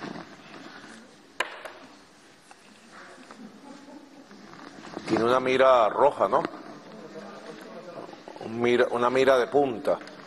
Este fusil que está aquí es un fusil de asalto de alto nivel. Esta punta que está aquí es para poner... Silenciador su, supresores de aire. Un supresor de aire que es un silenciador. ¿Mm? Tiene mira telescópica de alcance medio. Es un fusil de asalto construido por las fuerzas militares de Estados Unidos de uso exclusivo de las fuerzas militares de Estados Unidos. Tiene prohibido su negociación y su venta porque es uso exclusivo de las fuerzas militares de Estados Unidos. Como esto tenemos varios fusiles. Sporter, y aquí está el calibre 762 por 39, y está el serial. ¿Tú perteneces a una unidad? Me reservo el serial. ¿Sabe el gobierno de los Estados Unidos que tenemos este fusil y otro armamento que fue introducido por la CIA a Venezuela para ataques terroristas pedidos por el fascismo en Venezuela. Ustedes pueden ver aquí, ¿ve? Sí. Restringido. Gobierno de los Estados Unidos. un tráfico de armas. Y, Correcto. Y ahí, ahí, es importante, presidente, que se sepa que este es el arma oficial de los Navy SEAL. Es el arma oficial de los Navy SEAL. Todos los comandos. Que es precisamente el señor Castañeda. Castañeda es un operador especial. Militar activo de Estados Unidos al mando de esta operación. Navy SEAL reconocido, reconocido por el gobierno de los Estados Unidos que así lo ha declarado, que así lo ha declarado. Experto en explosivos, experto en combate urbano, urbano, urbano, en armas cortas, armas largas, que estuvo en Afganistán, que estuvo en Irak, en ambas, en misiones en ambos, en ambos países, estuvo en intercambio, según él mismo lo confiesa, en Colombia, entrenando a un grupo de, de personas que aún a estas alturas uno no sabe porque fue en el gobierno del narcoparamilitarismo colombiano de Iván Duque. a quien estaba entrenando él allá, en Colombia. Tenemos unos datos, ojalá pues pudiéramos trabajar. Su enlace con el tren de Aragua es esta señora eh, prostituta, prepago, que fue la pareja del segundo al mando del tren de Aragua, que fue asesinado a su vez, y ella lo, lo, traía, lo traía a Venezuela y también garantizaba su salida. Él entró y salió en varias oportunidades. Sí, claro, inclusive, presidente, mire esta, esta, esta foto. Yo no sé si quién la puede tomar. Esta. Correcto. ¿Qué foto es esa, Diosdado? Puede, ya me muestra usted. Correcto. Ajá, véngase acá. Esta foto es del señor José Castañeda en la marcha convocada por el fascismo de María Corina Machado en Dallas, Texas, el 17 de agosto desconociendo los resultados electorales en Venezuela. Toda esta foto y otras más, muchas más, son parte de las que él guardaba en su equipo telefónico. Él estuvo en Venezuela el 28 de julio, el 28 de julio, y luego salió. ¿Quién le facilita entradas y salidas? Esta persona que está convicta y confesa del tren de Aragua. Está detenida ella, su padre y su madre. ¿Dónde los capturan? Los capturan en una parroquia que es eje de la batalla de las fuerzas de seguridad venezolana contra el tren de Aragua.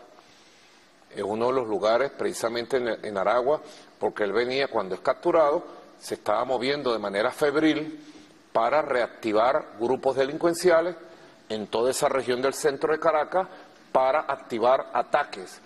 Y tenía un contacto en Estados Unidos, también del tren de Aragua, llamado El Flaco. Alias El Flaco.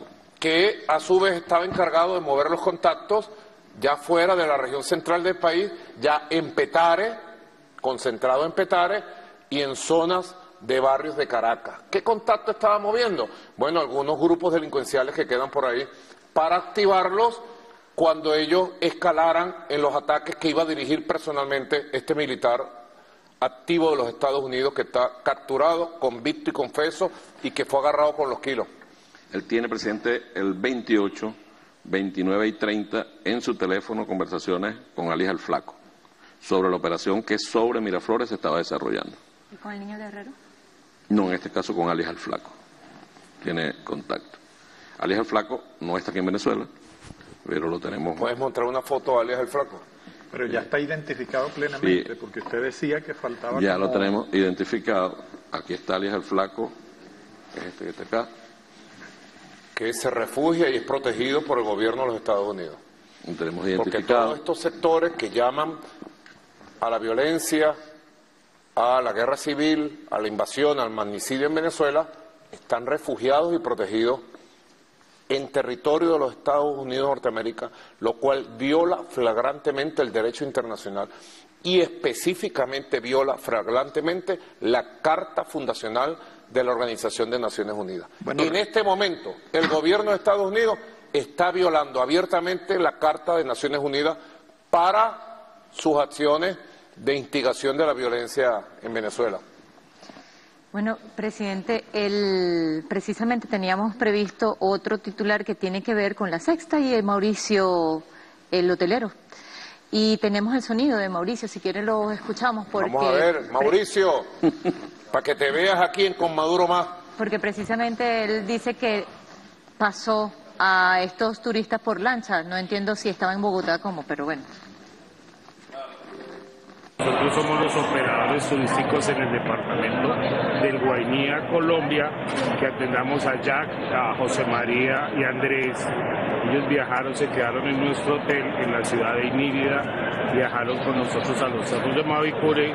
La última vez que los vimos eh, estaban cogiendo la lancha que los iba a transportar hasta Venezuela. Después por diferentes... Eh, averiguaciones que logramos hacer con amigos que tenemos en Venezuela, a ellos les detuvo la Fuerza Aérea Venezolana, pero lo que dijeron era que, que estaban muy nerviosos y que se les extrañaba que, hacían eh, unos ciudadanos españoles en, eh, en Venezuela. Entonces, hasta donde tengo entendido, es por solo sospecha, pues me sorprende ahora, ahora lo que dicen que, ellos estaban planeando algo contra, contra Maduro, porque ellos todo el tiempo estuvieron en Colombia, en Minirida, Guainía y en los cerros de Mavicure, y los presos que de, de Bueno, este es el relato para tapar y para normalizar, para lavarle la cara a unos terroristas que fueron capturados y que están convictos, confesos y con plena prueba de las acciones que traían dentro de Venezuela para asesinar gente, colocar bombas, etcétera, etcétera. Nos decía alguna gente conocedora de las tropelías del CNI en España y fuera de España que estos dos personajes pudieran ser agentes como lo son, encubiertos. No van a salir sus familiares o sus amistades o el CNI, el gobierno de España jamás va a salir a decir, sí, son dos eh, agentes del CNI, por favor, entréguelo. El gobierno de Estados Unidos sí salió a reconocer que es un militar activo de alto rango para ellos, de experto en operaciones especiales de guerra sucia, de asesinatos en el mundo, porque fue evidente. Y, y además, presidente, recuerda que tenemos un experto hacker de Estados Unidos con vínculos con una mafia de hackers de Israel. Correcto. Detenido. Sí, lo tenemos. Claro, hay dos estadounidenses más, además de, de Castañeda. Fíjense ustedes lo que fue el relato que trataron de vendernos sobre el Navy SEAL, el militar activo estadounidense. Dijeron que él estaba en Venezuela. El relato que él vendió, el relato que dio esta señora prepago y sus familiares, que él estaba en Venezuela porque estaba muy enamorado de esta señora. Y por amor había venido. Y cuando el gobierno de Estados Unidos reconoció que si había un militar activo metido en cosas en Venezuela y que no, estaba, no tenía permiso para estar en Venezuela, algunos enlaces que el gobierno de Estados Unidos mandó repitieron el relato que ellos nos dieron y nos dijeron, bueno, pasa que él está muy enamorado y por amor fue a Venezuela. Perdió la cabeza y no pidió permiso. Él tenía que pedir permiso para entrar a Venezuela. ¿Mm? Pero el relato se cae cuando se conoce todas sus conversaciones, donde él personalmente dirige las acciones de violencia en la ciudad de Caracas, en Petare, conjuntamente con alias el Flaco, y va dirigiendo entre líneas, pero también de manera muy contundente, lo que buscaban ellos, que era el asalto del Palacio Presidencial de Miraflores, los días 29 y 30 de julio, que precisamente de eso no hemos hablado. Más adelante hablaremos, más adelante hablaremos de quién fraguó, quién ordenó, quién financió, porque todos esos elementos también están en la investigación. El asalto del Palacio de Miraflores el lunes 29 y el martes 30, donde estábamos todos, el acto mando político, dirigiendo restablecimiento de la paz del país. Ya ese es un tema aparte, pero aquí está demostrado que ustedes pueden publicar todos sus vínculos y cómo Petare suena. Y suena por aquí, suena por allá. Precisamente, presidente, estaba recordando que con ocasión de la operación Gedeón, mayo del 2020, 3 de mayo del 2020, antes, días antes de, de la operación Gedeón, se produjeron una serie de tiroteos en barriadas de Petare, concretamente en el barrio José Félix Rivas, que tiene 10 zonas y donde opera la banda del Wilexi. Y luego usted mostró un video con el testimonio de alias Pépero, donde él confesaba que precisamente eso era una operación de distracción, que era dirigida por Richard Canmarano, un narcotraficante internacional que se escapó de, de, la cárcel de Tocuyito. Y ahora volvemos a escuchar Petare. ¿Qué pasa allí en Petare? ¿Por qué, eh, ¿por qué esa fijación de estos grupos con, con la parroquia Petare? Bueno, eso está una investigación permanente porque ellos han captado a bandas criminales, el tren de Aragua, el tren del Llano, el Wisletzi, porque forma parte precisamente de una de las estrategias que Estados Unidos practica en los países que quiere desestabilizar, que quiere dañar para colonizarlo. Lo mismo hicieron en el Irán de los años 50 para el golpe de Estado contra el presidente Mossadegh ellos contrataron las bandas criminales de Teherán y con las bandas criminales de Teherán atacaron puntos nodales de la ciudad, caotizaron la ciudad y luego vino el golpe de Estado que luego, 50 años después, reconocen que lo dio la CIA directamente. Y reconocen que lo dieron porque el presidente Mossadegh junto a Carlos Delgado Chalbot estaban promoviendo la creación de lo que después fue la OPEP. Lo mismo hicieron en Libia más recientemente, en la provincia oriental de Benghazi. Recuerden ustedes, ellos lograron articular la OTAN y el gobierno de Estados Unidos con las bandas criminales de esa región de Benghazi y lo primero que hicieron fue abrir las puertas de las dos grandes cárceles de Benghazi, armar a los delincuentes y marchar junto a un grupo de mercenarios de la OTAN sobre la capital, Trípoli. Recuerden que ese fue el arranque de la ofensiva contra Libia, que llevó a Libia al estado en que nuestra hermana Libia cayó. Miles de muertos, el caos, y lo mismo han hecho con Haití también.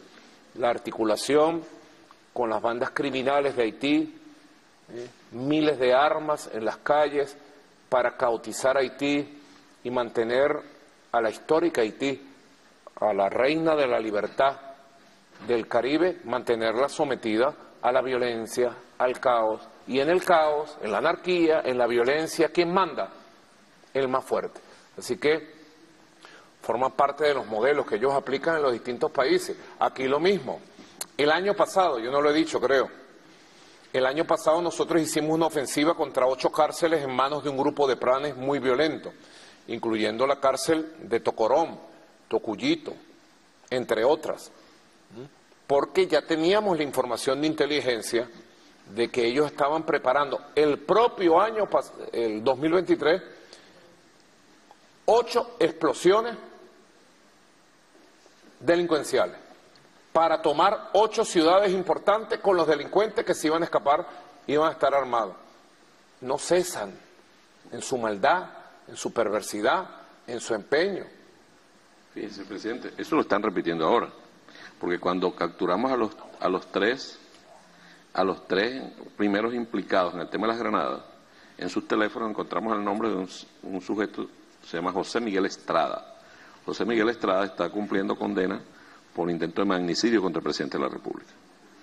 Y ellos tenían una operación en varias cárceles del país para liberar, iban a colocar explosivos en, en sitios de las cárceles para liberar a, a, los, a, los, detenidos y tenemos 14 jefes de banda, 14 jefes de banda que estaban detenidos, los tenemos nosotros en, en, interrogatorio por estar implicados y aparecer en este plan. O sea, esto lo iban a repetir ellos ahorita, ahorita, con el uso de explosivos en las cárceles, eh, que es donde nosotros comenzamos toda esta, esta, esta, investigación. Ellos son repetitivos, no cesan en el empeño y bueno, creen que, que el, Estado se va a descuidar en algún momento.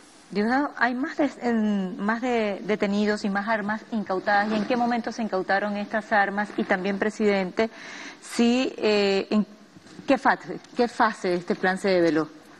¿Y qué hubiese sucedido si esto hubiese continuado? Eh, solo, solo para, para hacer una acotación con el tema, volviendo solo al tema de los turistas. Los de Gedeón también dijeron que eran buenos muchachos todos. Buenos turistas también, sí, están haciendo turismo en, una lancha, sí, los de Gedeón. Sí, estaban quedando por Choroní. Se me ha olvidado. Sí. No, por Chuao, porque por Chuao, las Chuao, playas de Chuao ellos podían pescar y hacer turismo ahí. Los pescadores río. recibieron. Aquí están, miren, tomando el sol. Aquí están ellos Estaban tomando el sol. Correcto, buenos muchachos, vale. Tomando el sol. Sí, ellos, ellos andaban de, de paseo, todos, pues. Todos aquí en Venezuela. Mira, aquí lo estaban esperando en la playa, que llegaran las lanchas. Claro, los guías turísticos. Los guías turísticos, claro. Aquí está, mira, aquí están. Los están escoltando, todos, todos ellos. Todos. Eh, Creen que nosotros somos, somos, no sé si, si será que creen que somos gafos, ¿no? Aunque el mundo es gafo que se va a cre- terminar creyendo el mismo cuento. Hoy, se lo informaba al presidente, todas estas armas vienen de los Estados Unidos. Todas. Hoy, gracias a labores de inteligencia. En este momento, antes del programa, ¿verdad, presidente? Antes del programa. En un lugar de Venezuela, hicimos nosotros un nuevo decomiso de armas. Está en, Importante decomiso de está armas. en pleno desarrollo. Está en pleno desarrollo a esta hora. Que usted me ve, los cuerpos de seguridad, de inteligencia y protección están actuando para que en Venezuela siga reinando la paz, la tranquilidad. Porque Madeleine pregunta, yo respondo, ¿qué hubiera pasado? Hubiéramos combatido, hubiéramos triunfado. Y quizás no estuvieran ellos detenidos, quizás hubieran sido abatidos por el fuego patriota de la Fuerza Armada Nacional Bolivariana, de la Policía Nacional Bolivariana, del SEBIN, del DGCIN, porque Venezuela tiene fuerzas militares, policiales y de seguridad que la defiendan, tiene pueblo que la defienda. Eso es lo que ellos no pueden entender. Por ningún lado pueden entender. Venezuela tiene no solo la protección de Dios, la bendición, Somos un país bendecido, que está viviendo un tiempo milagroso. ¿Mm? Yo siempre pongo el ejemplo, pues, del exorcista. Ahí está el exorcista, moviendo la cabeza. Pero nosotros no bajamos el escapulario de madera. Tenemos el escapulario en alto, en alto. Que nadie se equivoque con Venezuela. ¿Mm? Al final es un proyecto fascista, nazi, lleno de odio, de venganza, pero no han podido ni podrán, con nosotros. ¿Qué otras preguntas tienes aquí esta muchachada? Bueno, ¿Qué nos dice? ¿Algún detalle de, ese, de esa última incautación? ¿Son las mismas armas, con estas mismas características? ¿Cuántas cosita. personas? Peores, peores que esta. No te digo más. ¿Y los hoteles son los mismos o tienen algún, fueron utilizados en alguna oportunidad para Operación Gedeón u otra? ¿Hay alguna no, vinculación? No, no, es Operación Gedeón, pero todos los im- implicados detenidos aquí en Venezuela pasaron por ese hotel. Por ese hotel. Todos. Y el En operador. esta nueva fase. en esta fase. Eh, con las armas, no te voy a decir de las de ahorita, pero ellos eh, se extrañaban de ver al presidente cuando, cuando presentamos ante el país un lote de las armas, de las más de 400. Primero que ellos querían que las presentáramos todas, ¿no? Para creer que fueron 400, no crean si quieren. Nosotros estamos seguros de lo que estamos haciendo. Que había Kalashnikov. ¿Cómo es posible que Estados Unidos... Correcto, Sí, correcto. En Estados Unidos hay fábricas de Kalashnikov autorizadas. Bueno, ¿cuál es el fusil que le incautaron al asesino que intentó acabar con la vida con el- del expresidente Trump? Informa la cadena CNN que es un fusil Acá. de fabricación también, de tecnología, pero no es nada nuevo. Ya el profesor Samuel Moncada y el filósofo comunicador Pérez Pirela lo denunció. Los Estados Unidos de Norteamérica tiene fábricas secretas de armamento ruso, chino, europeo y de todas las nacionalidades, no es nada nuevo. Y cuando se mete en un conflicto, en operaciones encubiertas, hacer guerra sucia, arma a sus grupos con ese armamento. ¿m?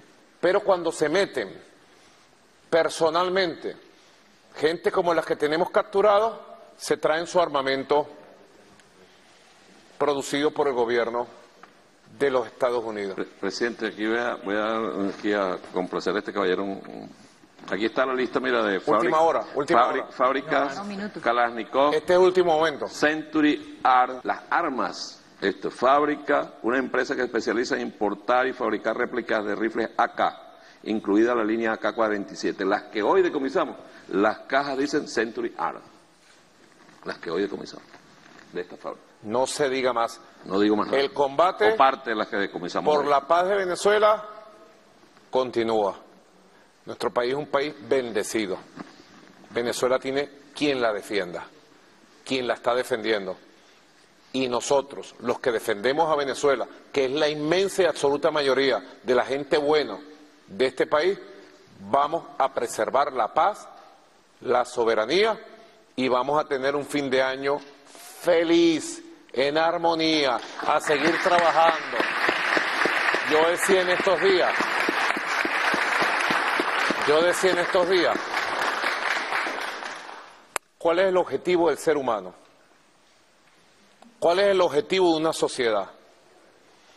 A la luz de 12.000 años de civilización llamada humana, digo llamada humana porque pareciera que el deseo de Ali todavía no se cumple, que sea humana la humanidad.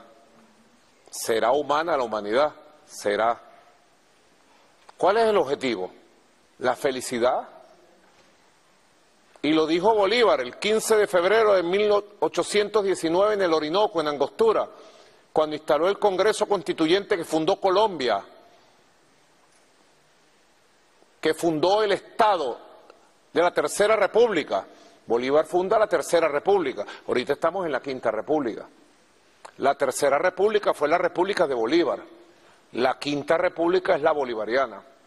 En esa Tercera República, Bolívar enarbola la tesis, la doctrina principal del bolivarianismo, del Estado por construir. Fundar una república, romper con la monarquía conceptualmente, ideológicamente, romper con la colonia y fundar la república. Decir república en aquella época es como decir hoy socialismo. República del público, igualdad, libertad, decía Bolívar. Lo tomaba de su lucha aquí, de nuestra raíz. El mejor sistema de gobierno es aquel que le da a su pueblo la mayor suma de felicidad social posible, la mayor suma de estabilidad política y la mayor suma de seguridad social. Fue la primera vez en la historia que se habló de seguridad social y de felicidad social. ¿Cuál es el objetivo nuestro? Tener paz, estabilidad, ser independiente, ser soberano, construir nuestro propio modelo económico, social, cultural. ¿Para qué? Para tener la mayor suma de felicidad social de nuestro pueblo, la mayor suma de estabilidad política y la mayor suma de seguridad social. Nuestro pueblo está condenado a la felicidad y a la vida. Terminamos este segmento. Le agradezco al invitado especial, a los periodistas, y vamos a ver la hermosura, el milagro y la belleza que puede hacer un país como Venezuela en el segmento con Maduro, más ciencia y salud. Adelante.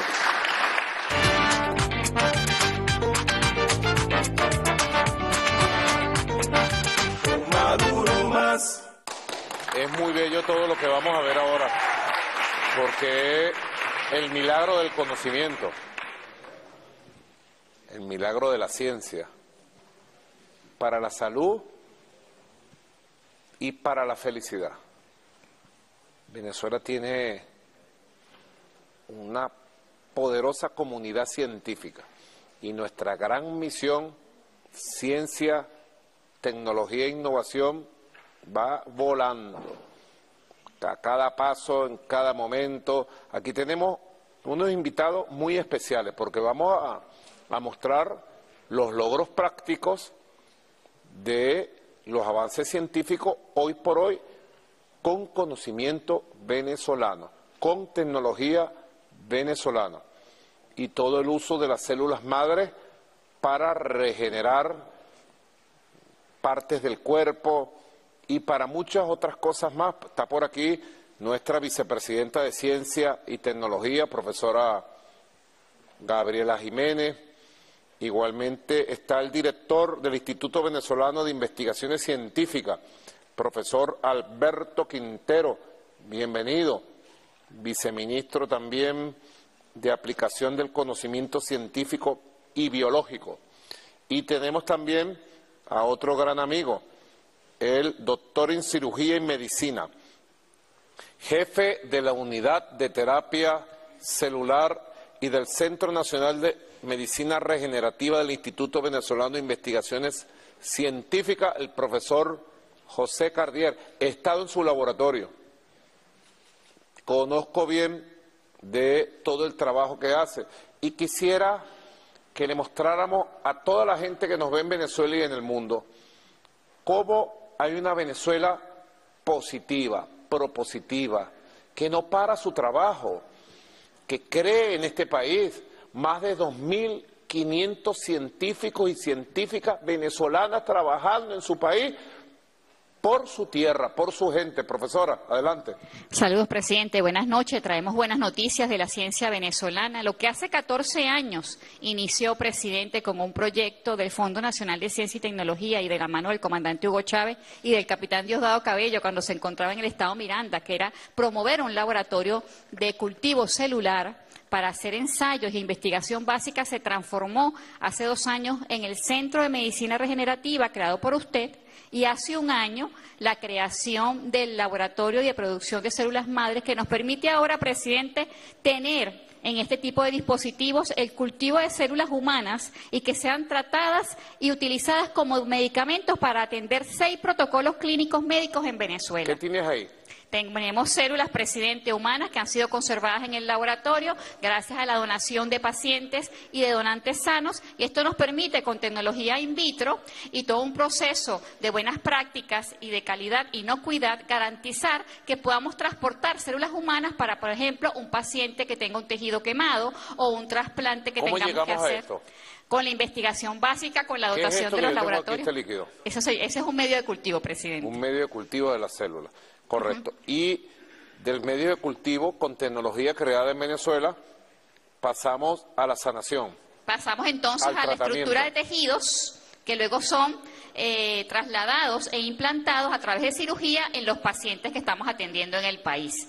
Lo que producimos en el laboratorio va acompañado entonces de diferentes tipos de células, células que van a ser pulpa dental, para recuperar el nervio a, través de la boca en los pacientes, células que constituyen cartílago, células que constituyen tejido óseo y así igual también, presidente, células para el epitelio.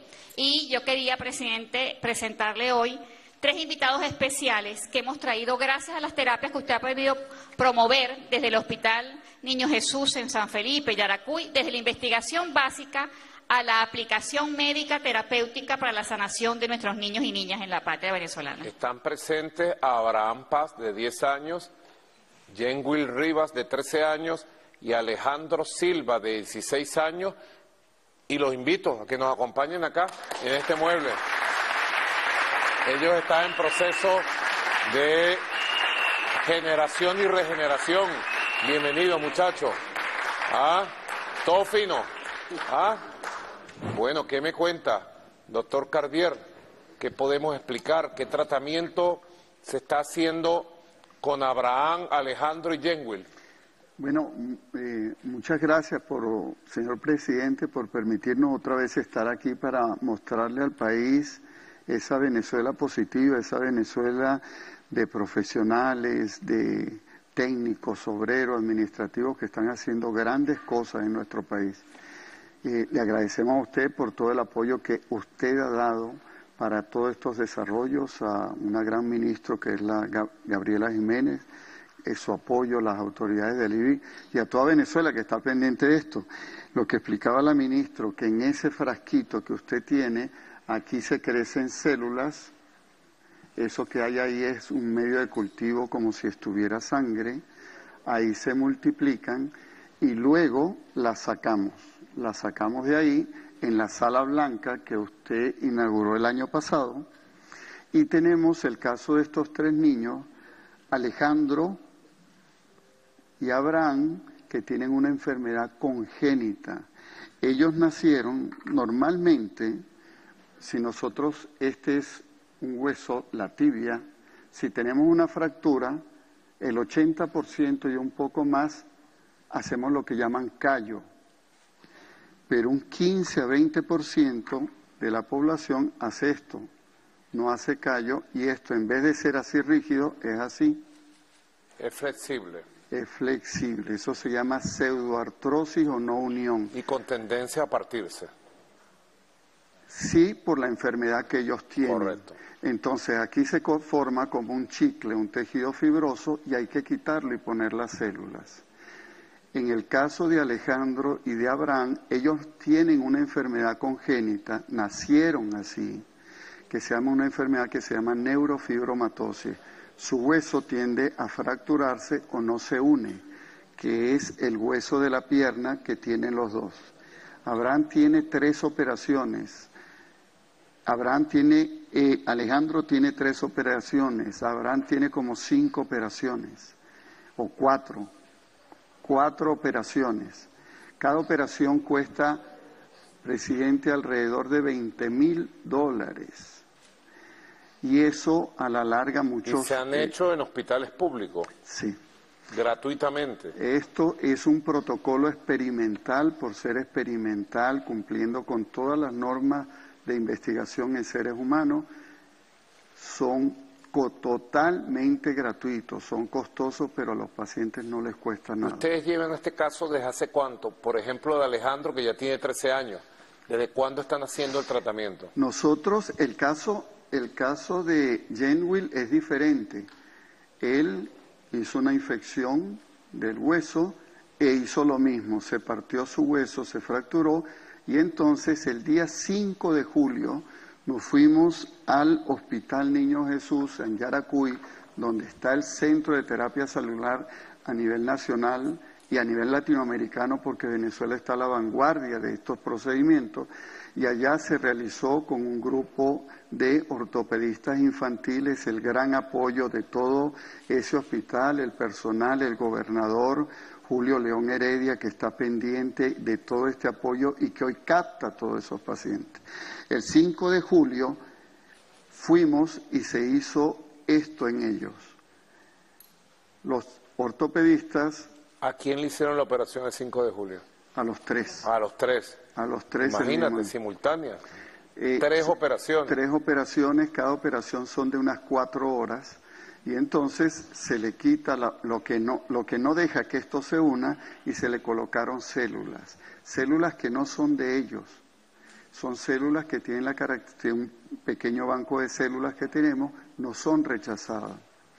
Y hoy tienen dos meses, y ya a dos meses nosotros tenemos estos resultados de que ellos hoy están pisando, están apoyando para estimular la formación de hueso. ¿Qué es lo que queremos con esto lograr? Que ellos ya tengan una, una parte social de integración a la sociedad, que se vayan al colegio, que hagan su deporte. Quiero decirle que este muchacho que está aquí es pitcher y le lanza 70, 80 millas. Alejandro, él es, del zurdo. Derecho, ¿verdad? Este muchacho que está aquí es futbolista y cantante y Jane que está allá, es futbolista. Son punteros derecho, puntero izquierdo, para que usted vea lo que hace el ser humano. Entonces, eso es lo que hemos logrado y es parte de los avances que se realizan en la unidad de terapia celular del IBI. Es un orgullo. ¿Cómo, cómo es el proceso cuando ponen el chicle y, va creciendo la célula? El chicle está aquí los cirujanos... El chicle celular, para llamarlo de alguna manera. Es como una cicatriz, ese queloide que le sale a uno está aquí y no deja que esto se una. Esto se quita. Las células que tenemos acá las trabajamos aquí en la unidad de terapia celular. Salimos a las 7 de la mañana vía Yaracuy. En Yaracuy, como si fuera un trasplante, llevamos las células y se colocan aquí. Esas células que llevamos aquí son células formadoras de hueso, porque ellos lo que fallan aquí es en tener células formadoras de hueso. Lo grandioso de esta técnica es de las técnicas más avanzadas que hay en el mundo. Pocos países en el mundo hacen esto. Es la posibilidad de tener una célula aquí y decirle, vamos a decir así, convertirla en células que haga hueso. Y esa es la que le ponemos si es un paciente quemado, convertirla en células que haga piel, de tal manera que en el laboratorio nosotros podemos experimentalmente hacer el tipo de célula que nosotros querramos. Recientemente, presidente, reportamos, ese, eh, está por publicarse ese trabajo, en el área de odontología regenerativa Venezuela está al tope a nivel mundial. Y no es porque nosotros le digamos, porque todo esto se publica a nivel internacional. Reimplantamos un diente. Eso quiere decir lo siguiente, una paciente que iba a perder el diente, ya lo iban a sacar porque tenía una anomalía, nosotros tomamos el diente, usted tiene una hermana odontóloga, me dijo la otra vez, se saca el diente, se le quitan las células, en, el, en la sala blanca, se le colocan células buenas, llamemos, cultivadas así. Y mete el diente. Y se volvió a implantar el diente. ¿Y, pegó? Ya tiene dos años y tiene 80% pegado. Ah, ah, no solamente, no solamente que ya está implantado. Yo necesito ver algo así por aquí. y este, lo importante es, esto es un órgano. y sabemos que está vivo el órgano porque se pegó y porque la paciente siente, porque cuando usted le hacen un tratamiento de conducto ya no vuelve a sentir. Entonces, de tal manera que es un gran avance que le reportamos y, y, gracias por permitirnos estar aquí, un gran avance que le reportamos a Venezuela es algo para decirle a Venezuela que aquí se hacen muchas cosas importantes, positivas y de altura y, bueno, a veces decimos milagros para lograr que estos niños hoy en día esperamos que a partir ya a los seis meses consoliden hueso. Si consoliden hueso, el siguiente tratamiento, presidente, es el siguiente. Tú puedes pararte un momento, Abraham. Si ustedes ven, Abraham tiene una distancia muy grande de una pierna a otra. Claro. Si él pega.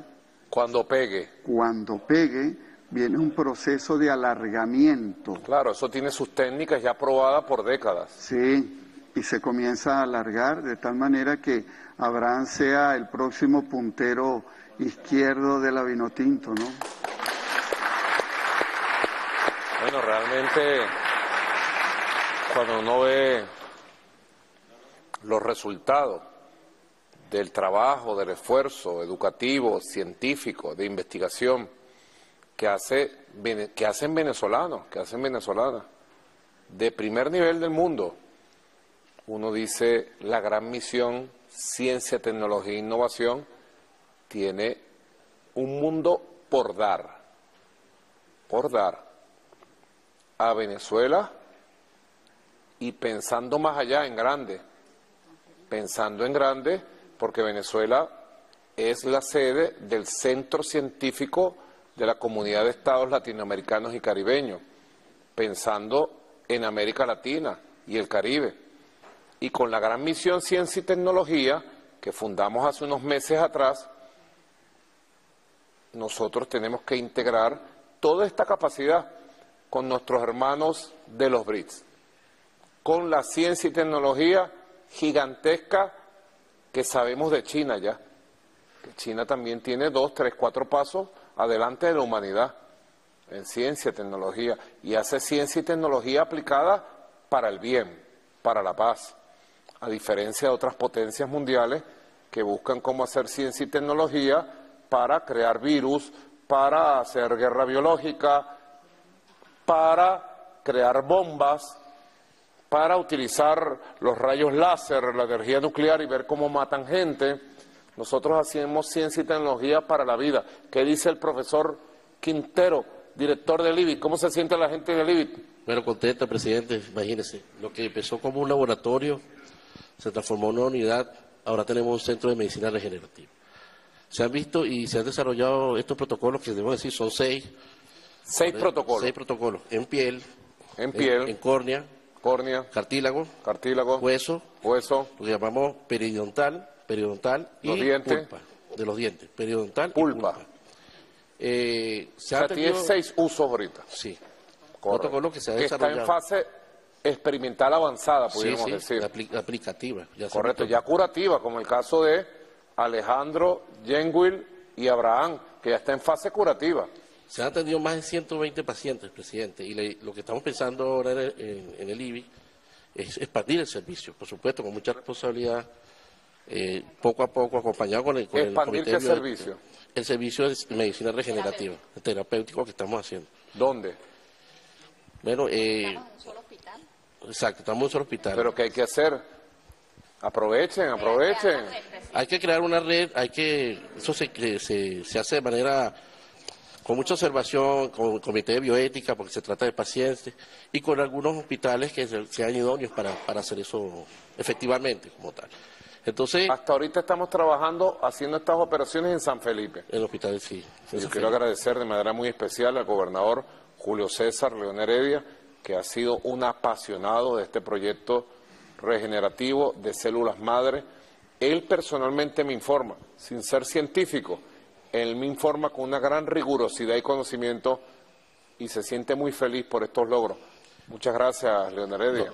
No, igualmente agradecer desde, el Ministerio de Ciencia y Tecnología, el Fondo Nacional de Ciencia y Tecnología, al gobernador de Yaracuy, a la gente de Yaracuy, Y esto va para más, presidente. Al personal profesional Sí, del todo, hospital, correcto, todo, se nos al olvidaba. clínico. Esto va para más, esto a uno como científico le da satisfacción saber que un procedimiento experimental da buenos resultados. Y esto es el ejemplo, pues. Esa acción es palpable, es medible, es cuantificable, es demostrable. De tal manera que en el IBI, como usted me preguntó, si estamos contentos, vamos por más, y esto es parte del talento venezolano, de la fuerza del talento venezolano, de la creatividad de los científicos venezolanos, del compromiso, de la magia y de, sobre todo la capacidad de trabajo que tiene la gente de Venezuela para resolver estos problemas. Correcto. Bueno, próximos pasos. Ministra, Presidente, estos jóvenes niños vienen de Carabobo, los valles del Tuy, Caricuao. Nuestro primer caso era de Coro, residenciado en San Felipe. Ya Wish Lady cumple un año de su cirugía. Usted la tuvo en un programa con Maduro Más. Ya está caminando, integral escuela, ¿verdad? eh, riendo, cantando, bailando. Increíble la niña que recibimos para tratamiento y la niña que, que ahora tenemos sanada. Creo que es una oportunidad para construir bienestar, ampliar la red irnos a otros estados del país con la disposición de las unidades de traumatología. La ministra Magali está también encantada de este proyecto, porque además, presidente, la terapia es caminar.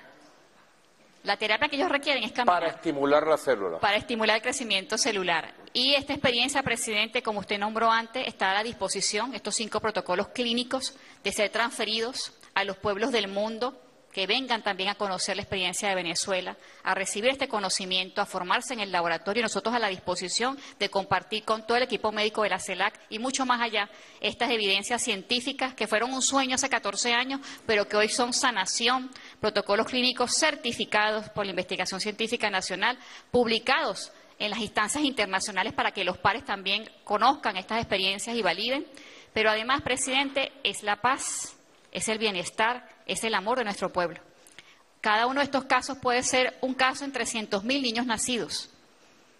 Tenemos muchos casos por encontrar, Correcto, muchos casos por sanar, muchos niños por atender, más allá de Venezuela también. correcto. La sanación de ustedes, muchachos, es la demostración práctica de que este conocimiento, esta creación, esta tecnología va a ayudar a decenas de niños, de niñas, de jóvenes en un futuro inmediato. Tenemos que ampliar para llegar más, a más ciudades, a más hospitales y seguir avanzando con la gran misión ciencia y tecnología. Vamos a dar un aplauso de felicidad a estos niños, a estos jóvenes. Y ahora nos vamos para el segmento con Maduro más Juventud. Adelante.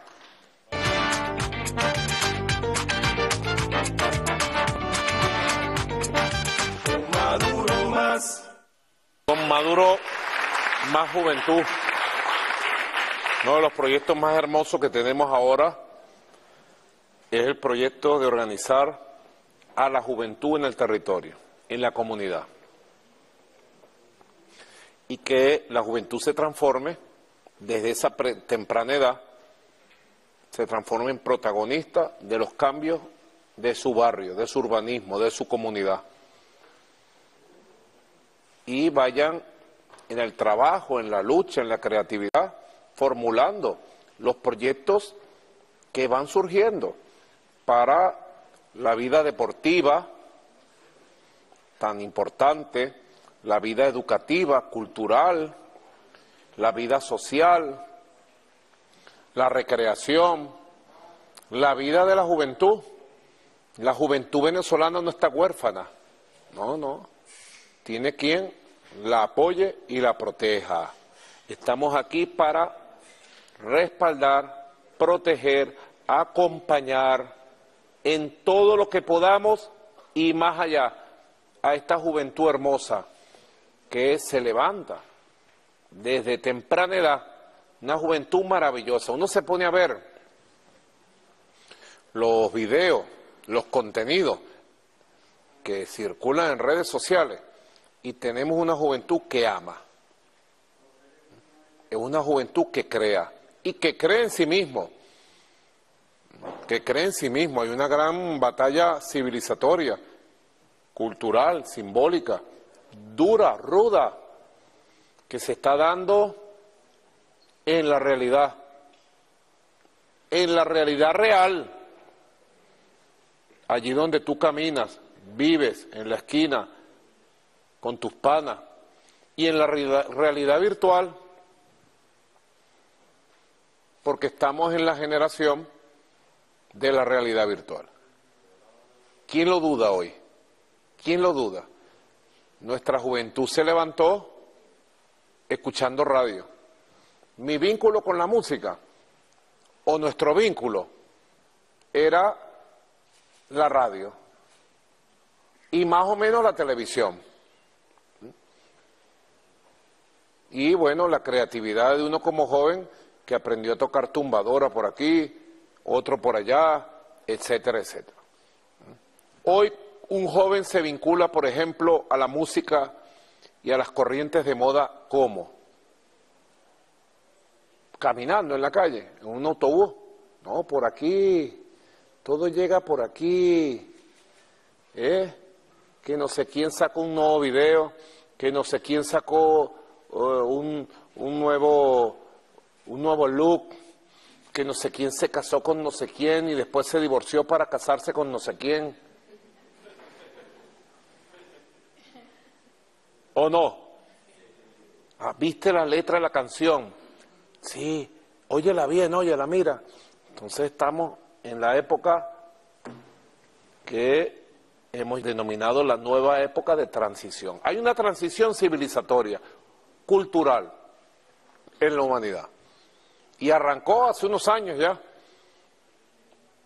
Y esa transición en Venezuela nosotros le hemos llamado la nueva época de transición al socialismo. En Venezuela no va a haber transición al capitalismo salvaje, al nuevo colonialismo, al fascismo. En Venezuela no. Aquí nuestra transición es al futuro, a la sociedad humana, para que sea humana la humanidad como canta Ali Primera. Y lo más hermoso que podemos hacer en nuestra vida, lo más hermoso es apoyar a la juventud a labrar su propio camino y lo digo, a labrar su propio camino. La juventud no puede depender de nada ni de nadie. Esta revolución no puede depender de nada ni de nadie. Esta revolución debe tener su fuerza, su base, su espíritu volcánico en ustedes, muchachos y muchachas. Por eso este proyecto es tan hermoso. Arranca esta semana el proyecto para constituir, organizar a miles. Y no me quedo corto si digo a millones de jóvenes en los núcleos, comités y formas de organización de la juventud en los circuitos comunales. Arranca una nueva etapa del poder juvenil en Venezuela. Bueno, tenemos aquí algunas invitadas, muchachas, bienvenidas, muchachos, se ven bien bonitos ustedes bien bonita, ese rostro tan hermoso, esa sonrisa de ustedes. Y aquí tenemos, bueno, un muchacho un poquito ya fortalecido, como yo, Ángel Prado, está Grecia, está Génesis. Grecia, ¿cómo está el cronograma? ¿Cómo, ¿Qué le dirías tú a la juventud? ¿Cómo se puede incorporar en esta tremenda jornada que arranca hoy en función de que la juventud se organice en el territorio para hacer una vida más feliz para el vivir viviendo la juventud Grecia? Gracias, primero presidente, por sus grandiosas reflexiones. Sin duda, estamos en la época de transición al socialismo en nuestro país y ahora lo vamos a ver en lo territorial desde la óptica juvenil, desde la rebeldía pura, desde las ganas de ayudar, de apoyar, de poner nuestras manos a disposición. Por eso es que los jóvenes, entonces, todos y todas, asumimos la corresponsabilidad que tenemos con nuestra comunidad, con nuestro barrio, con nuestra calle, y ahora vamos al fortalecimiento del poder popular juvenil. Eh, eh, como usted lo menciona, esta semana comenzamos todo un cronograma que va a apuntar hacia poder organizar a miles de miles de miles de jóvenes en todo el territorio nacional. Empezamos con la creación de un gran equipo promotor. Ese equipo promotor va a estar conformado por más de 160 jóvenes de nuestro país que representan son voceros y voceras de diversas organizaciones, movimientos, activistas, de diversos estados de nuestro país, más de 160 jóvenes que van a ser los primeros voluntarios y voluntarias. Y con ellos, con este equipo promotor nacional, nos iremos a todo el país, a las más, eh, a los más de 4.530 circuitos comunales que hoy tenemos y mucho más allá. Aproximadamente 49 mil, un poquito más de 49 mil consejos comunales. Correcto. ¿Cómo será el proceso? ¿Viene del consejo comunal al circuito comunal? ¿Cómo es la cosa? Empezamos con el equipo promotor. Conversadito, agarren el micrófono y hablen ustedes ahí. Le Y el quitan la equipo palabra promotor si no Grecia no deja hablar. que- ah.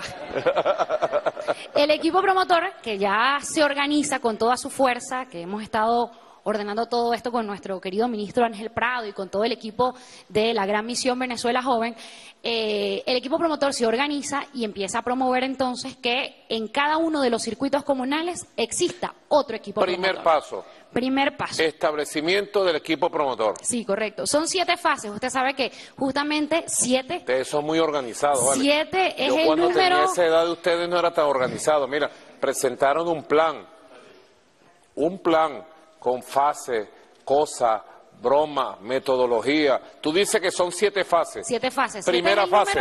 de trabajo. Primera fase, Primera fase, la conformación de los equipos promotores. ¿qué días? Bueno, eso ya se va a hacer a partir del 17 de septiembre, es decir, Hoy. mañana. Hoy, mañana, No, estamos... el y todo el 16. Ujú. Correcto. Mañana 17 instalamos ya el equipo promotor Nacional. nacional. Correcto. Empezamos a ubicar de inmediato a los aproximadamente 25 mil jóvenes que hoy están eh, como voceros y voceras vigentes en los consejos comunales. Y después de que los tengamos ubicados a ellos, vamos a ir entonces de inmediato al circuito comunal. En el circuito comunal, del 23 al 28 de septiembre, vamos a tener el encuentro con los Te voceros y voceras de la segunda fase, Esa que es el lanzamiento de la campaña nacional comunicacional. esa es la secreta. Ah. que desde allí vamos a, no va a ser Pero no te secreta, iba, no te iba, a coordinar los números. no te iba a dar los números. Bueno, la tercera fase es todo el gran trabajo comunicacional, la tarea de radio, medios, eh, bueno, en este caso, el, el paredes, todo el sistema, todo el sistema comunicacional que usted nos ha enseñado eh, se pone a disposición de este gran plan. Correcto. El radio Bemba, las calles, las redes, los medios, las paredes. Del 23 al 28 de septiembre, Vamos a ir al el encuentro. encuentro con voceros y voceras de los comités de juventud que ya existen. Que ya existen en los consejos comunales, unos aproximados de, eh, de 25 mil jóvenes que ya están Ya tienen eh, una primera hoy experiencia. como voceros y voceras. sí. Correcto. Y de ¿Cómo es esa experiencia, Ángel? Tú que has estado ahí en todo ese proceso desde que el comandante Chávez lanzó la idea de la democracia directa con los consejos comunales. Sí, presidente. Bueno, un saludo a toda la juventud del país.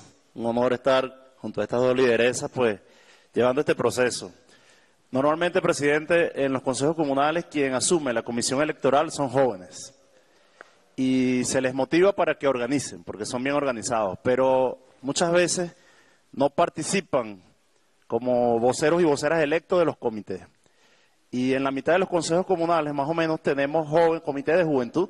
Obviamente lo ocupan muchachas y muchachos. ¿no? Hay unos 25 mil. Ellos están por allí con poca eh, participación, porque normal- normalmente en las asambleas se discuten problemas de la comunidad.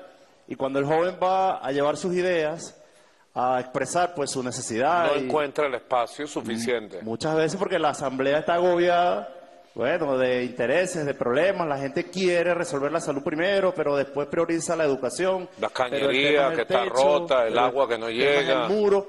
Y de último, por allá a veces participa el joven con su idea, que para nada es ninguno de esos problemas. ¿no? Aquí tenemos una muchacha que dice que sí, huracán comunera. ¿Cómo te llamas tú? Jordani. Jordali, Jordán, como el basquetbolista. Jordali. Ah, Jordali. Jordali Palacio, ¿De dónde eres tú, Jordali? de Fila del Viento, de la comuna Ruta de la Mandarina.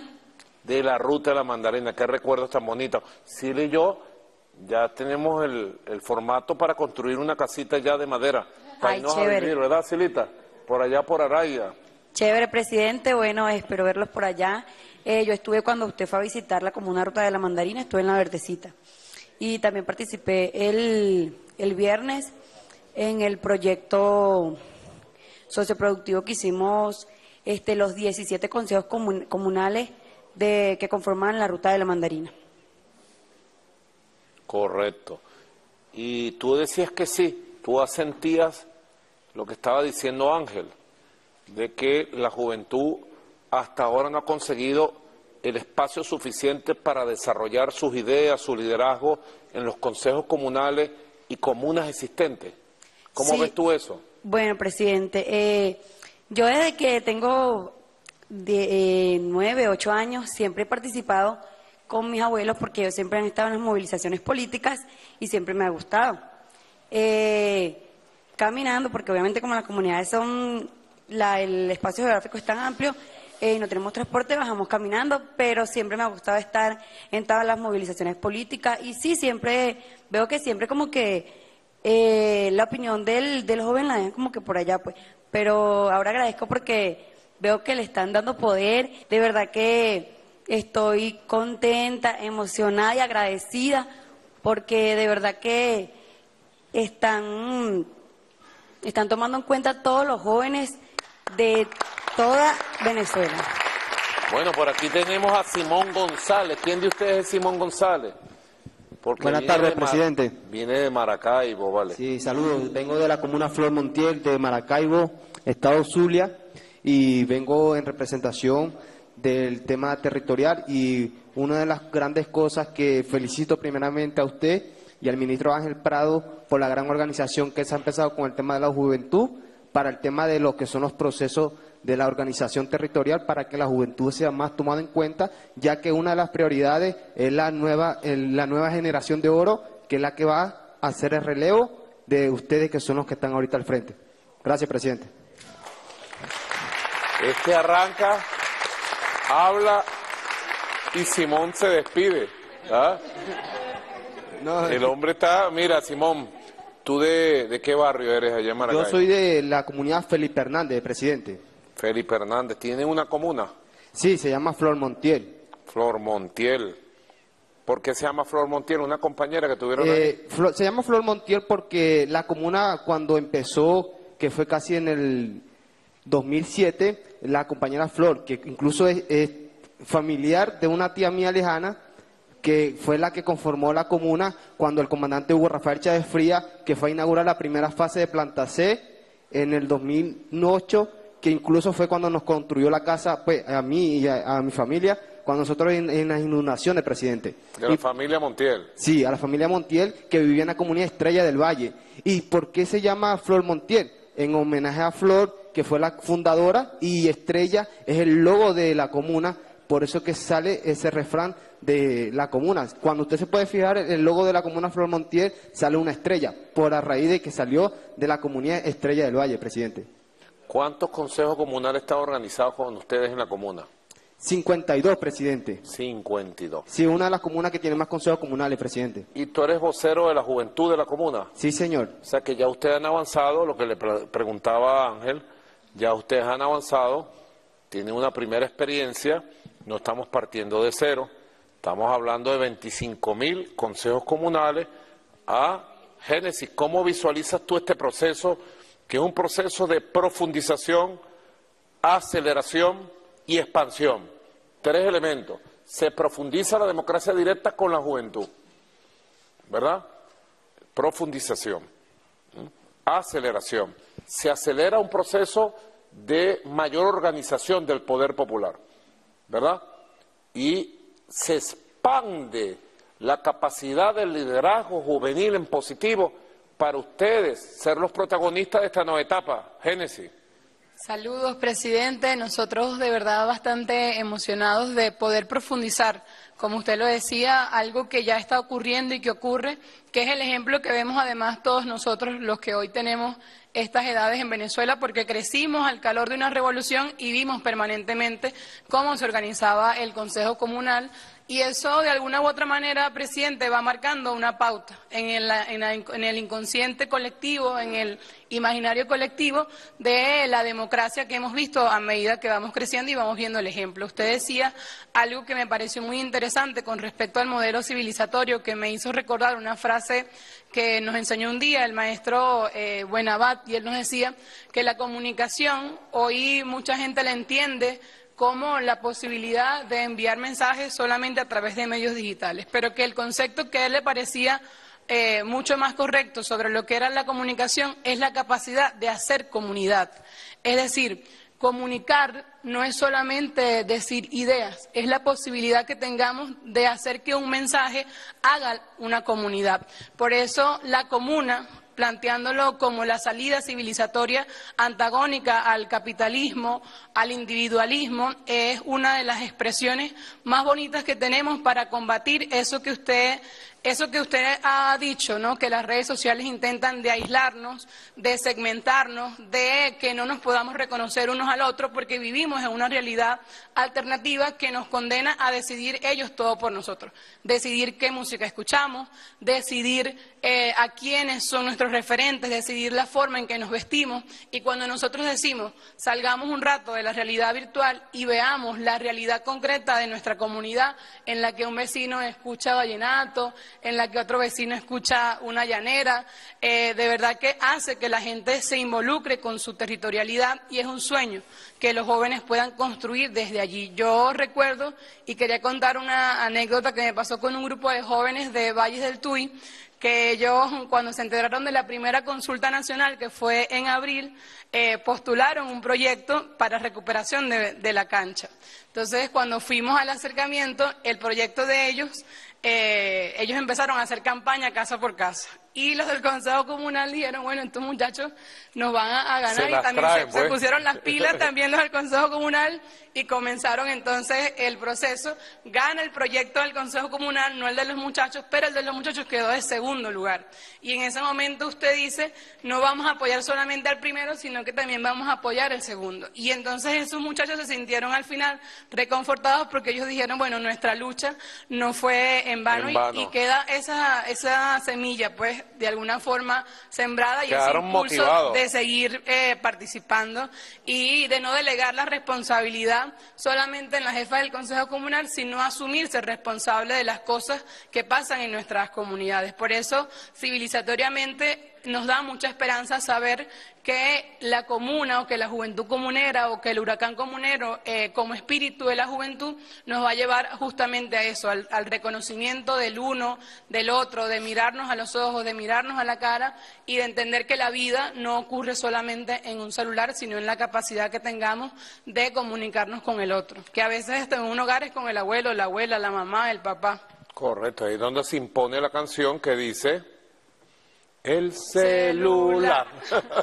Ponlo a grabar. Ponlo a grabar. Porque la realidad. La realidad.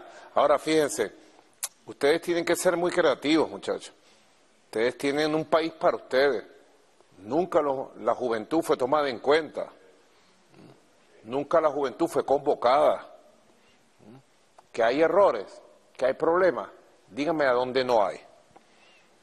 Pero ¿quién convoca a la juventud a ser protagonista positiva de su realidad?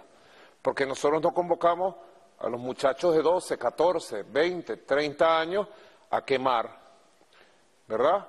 La revolución bolivariana, fundada por el comandante Chávez, eminentemente humanista, nunca jamás ha convocado a la juventud para hacer el daño, para hacer mal.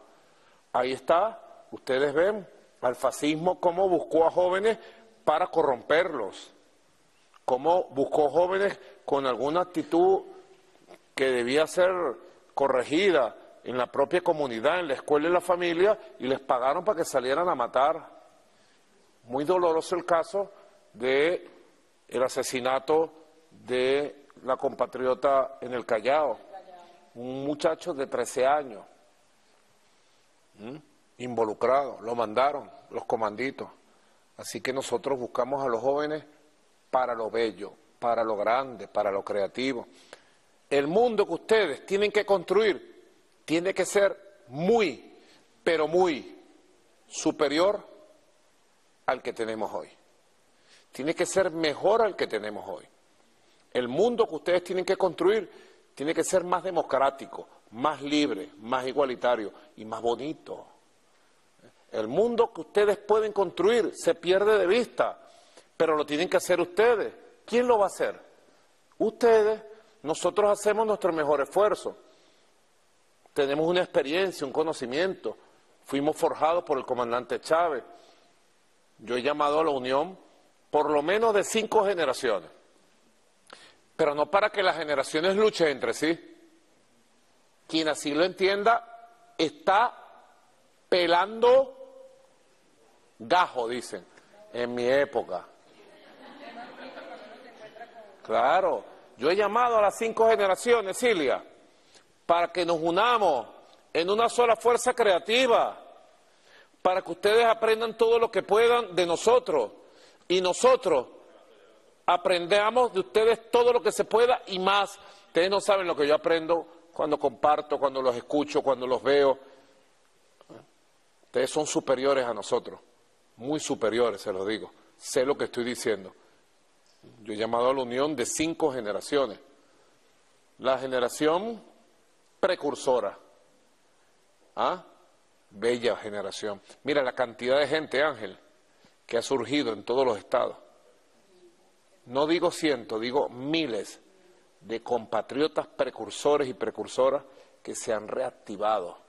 Y tú los ves y son como unos chamos, en sus 80, 90 años, unos chamos participando, animados, bellos. La generación llamada fundadora, nosotros, los chamos que vamos de 50 a 70 años, bien vividos, muy bien vividos. No hemos desperdiciado un segundo de nuestra, nuestra existencia por hacer lo que hay que hacer por Venezuela. La generación fundadora tuvimos la suerte de tener al más grande maestro que ha existido en Venezuela y existirá por muchos siglos. Después de Simón Bolívar, de Sucre, de Zamora, nuestro comandante Hugo Chávez, que está vivo y que está con nosotros en todas estas batallas, siempre está con nosotros. Su espíritu trascendió, su espíritu es inmortal y su espíritu nos acompaña con bendiciones, con sabiduría. Después viene la generación de oro que llamó Chávez, que ya algunos cumplieron cuarenta y pico, yo la, yo la ubico entre treinta, treinta y cinco a cincuenta, vamos a ponerla. ¿Qué dicen ustedes? ¿Treinta y cinco o treinta? Treinta y cinco. Es la generación de Arnaldo. Arnaldo es de la generación de oro, que es la generación de jóvenes que forjó Chávez. ¿Cuánto poder les dio Chávez? ¿Ah? ¿Cuánto protagonismo? esa generación de oro tiene gobernadores, alcaldes, diputados, ministros para tirar para el cielo y tiene un liderazgo sólido a nivel nacional, estatal, municipal y ha tenido perseverancia, continuidad, ha sido una generación leal, no se encuentran traidores entre la generación de oro. No hay traidores en la generación de oro. Después viene una generación que me ha correspondido a mí en lo fundamental, ¿verdad? Que es la generación que yo llamo joven, la generación joven, que va de los 20 a los 35 años, y que me correspondió, ahí está una transición entre el comandante Chávez y mi persona. Muchos de ustedes los agarré muchachitos ¿Ah? A los 10, 11, 12, 13, 14 años los conocí en el liceo, a Grecia, a Génesis, entre los que conozco de los presentes. Y fueron, bueno, allí luchando, delegado de curso en su aula, en el liceo, representante de su liceo, representante de su municipio, representante y vocero de su estado, luego miembro de los equipos nacionales de la Organización Bolivariana de Estudiantes de la Federación Venezolana de Estudiantes y después, bueno, todo el liderazgo hacia adelante. De 20 a 35 años, ¿verdad? Y van creciendo, mira.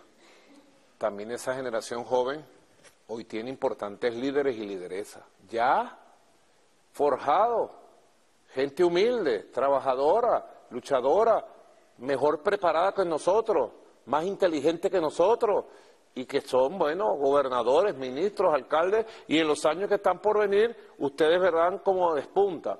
Y está la generación que yo llamo genial, que es la generación que viene atrás. Son genios. Son genios de la robótica, de la matemática, de la política, de la cultura, del deporte. Son genios de todo.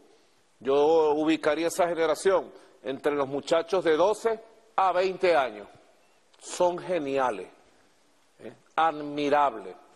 Y yo convoqué esas cinco generaciones para ir a un gran congreso nacional del bloque histórico bolivariano, popular, socialista, revolucionario y chavista de Venezuela. Y integrarnos cada vez más en un bloque de fuerza.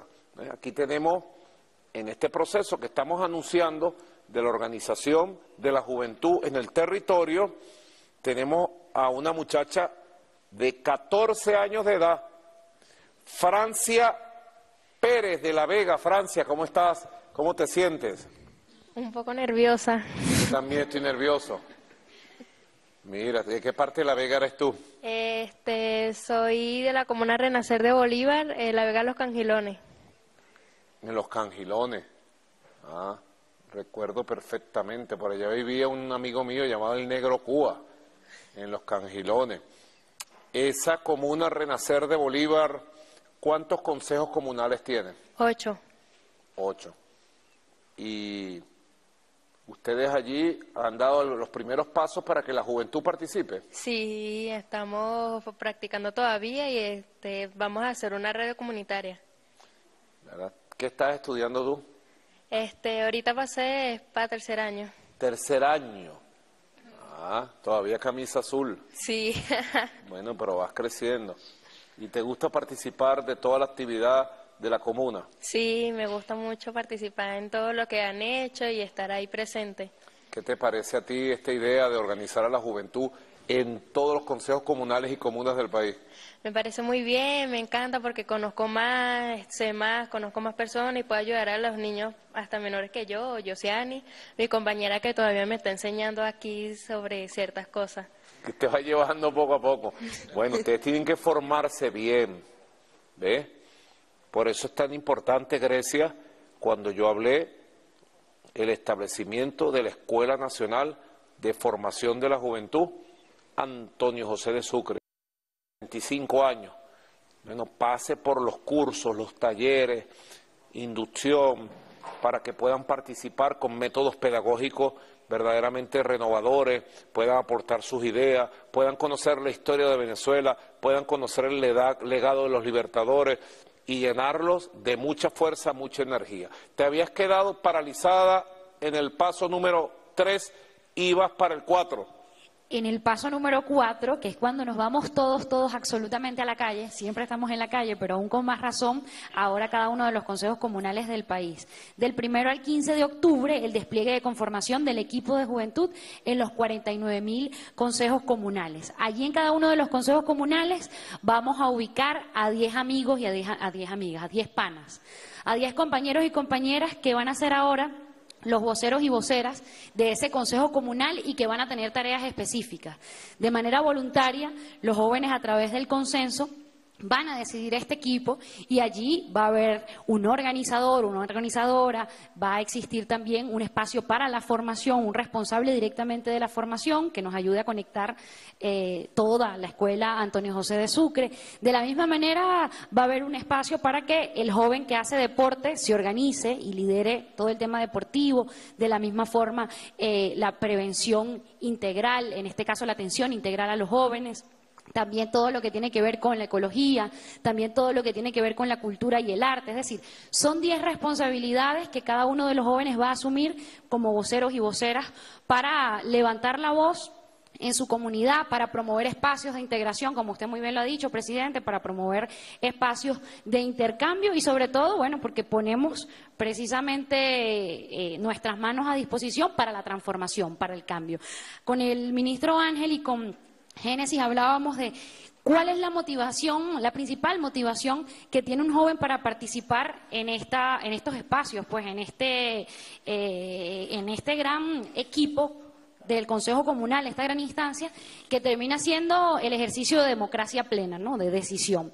Pero es precisamente que el joven sienta la capacidad de accionar, la capacidad de hacer algo, la necesidad, en este caso, de alzar su voz por algo que está mal o tal vez no, tal vez alzar su voz por ese proyecto de vida que él tiene y que quiere promover para que sus compañeros, vecinos y vecinas también puedan tener ese proyecto de vida hacia el futuro. También una de esas áreas priorizadas dentro de esos seis espacios de vocería eh, tiene que ver con el emprendimiento y la producción, porque nuestra juventud está totalmente ganada, lo hemos visto a lo largo de todo este tiempo, ganada a la disposición, a la vanguardia de todo lo productivo. Hemos aprendido durante estos años tan complejos que hemos vivido como país que solamente con el esfuerzo propio de, la comunidad, con el esfuerzo propio de las familias, con el esfuerzo propio de un gobierno que se sabe soberano, podemos salir adelante y en este caso la producción juega un papel fundamental, el emprendimiento. Hacia allá iremos apuntando y después del 15 al 30 de octubre. Claro, pero ya va, ya va. Ajá. Primero Pasa que yo me pongo a buscar la fecha para ver qué cae primero, entonces empiezo a leer los mensajes. ¿eh? Me distraigo. Ese es el problema de los teléfonos ahora. La vida no era así. En mi época uno hablaba por teléfono cuando llegaba a la casa o desde un teléfono público, si había. Y vas a llamar a alguien, ¿verdad, Silita? Luego apareció en los años 90 el Viper. ¿Te acuerdan? Pi, pi. Ustedes no saben qué es el Viper. Bueno, primero de octubre, martes del martes primero de octubre al martes 15 de octubre, despliegue para la conformación de los comités juveniles en los 49 mil consejos comunales. Por lo menos 10 jóvenes por cada consejo comunal, del primero al 15 de octubre. Luego decía Grecia, del 15 al 30 de octubre vendría el quinto paso, ¿correcto? El quinto paso, que tiene que ver ahora netamente con la formación y ya con la activación propia de cada uno de los equipos. Agenda de trabajo.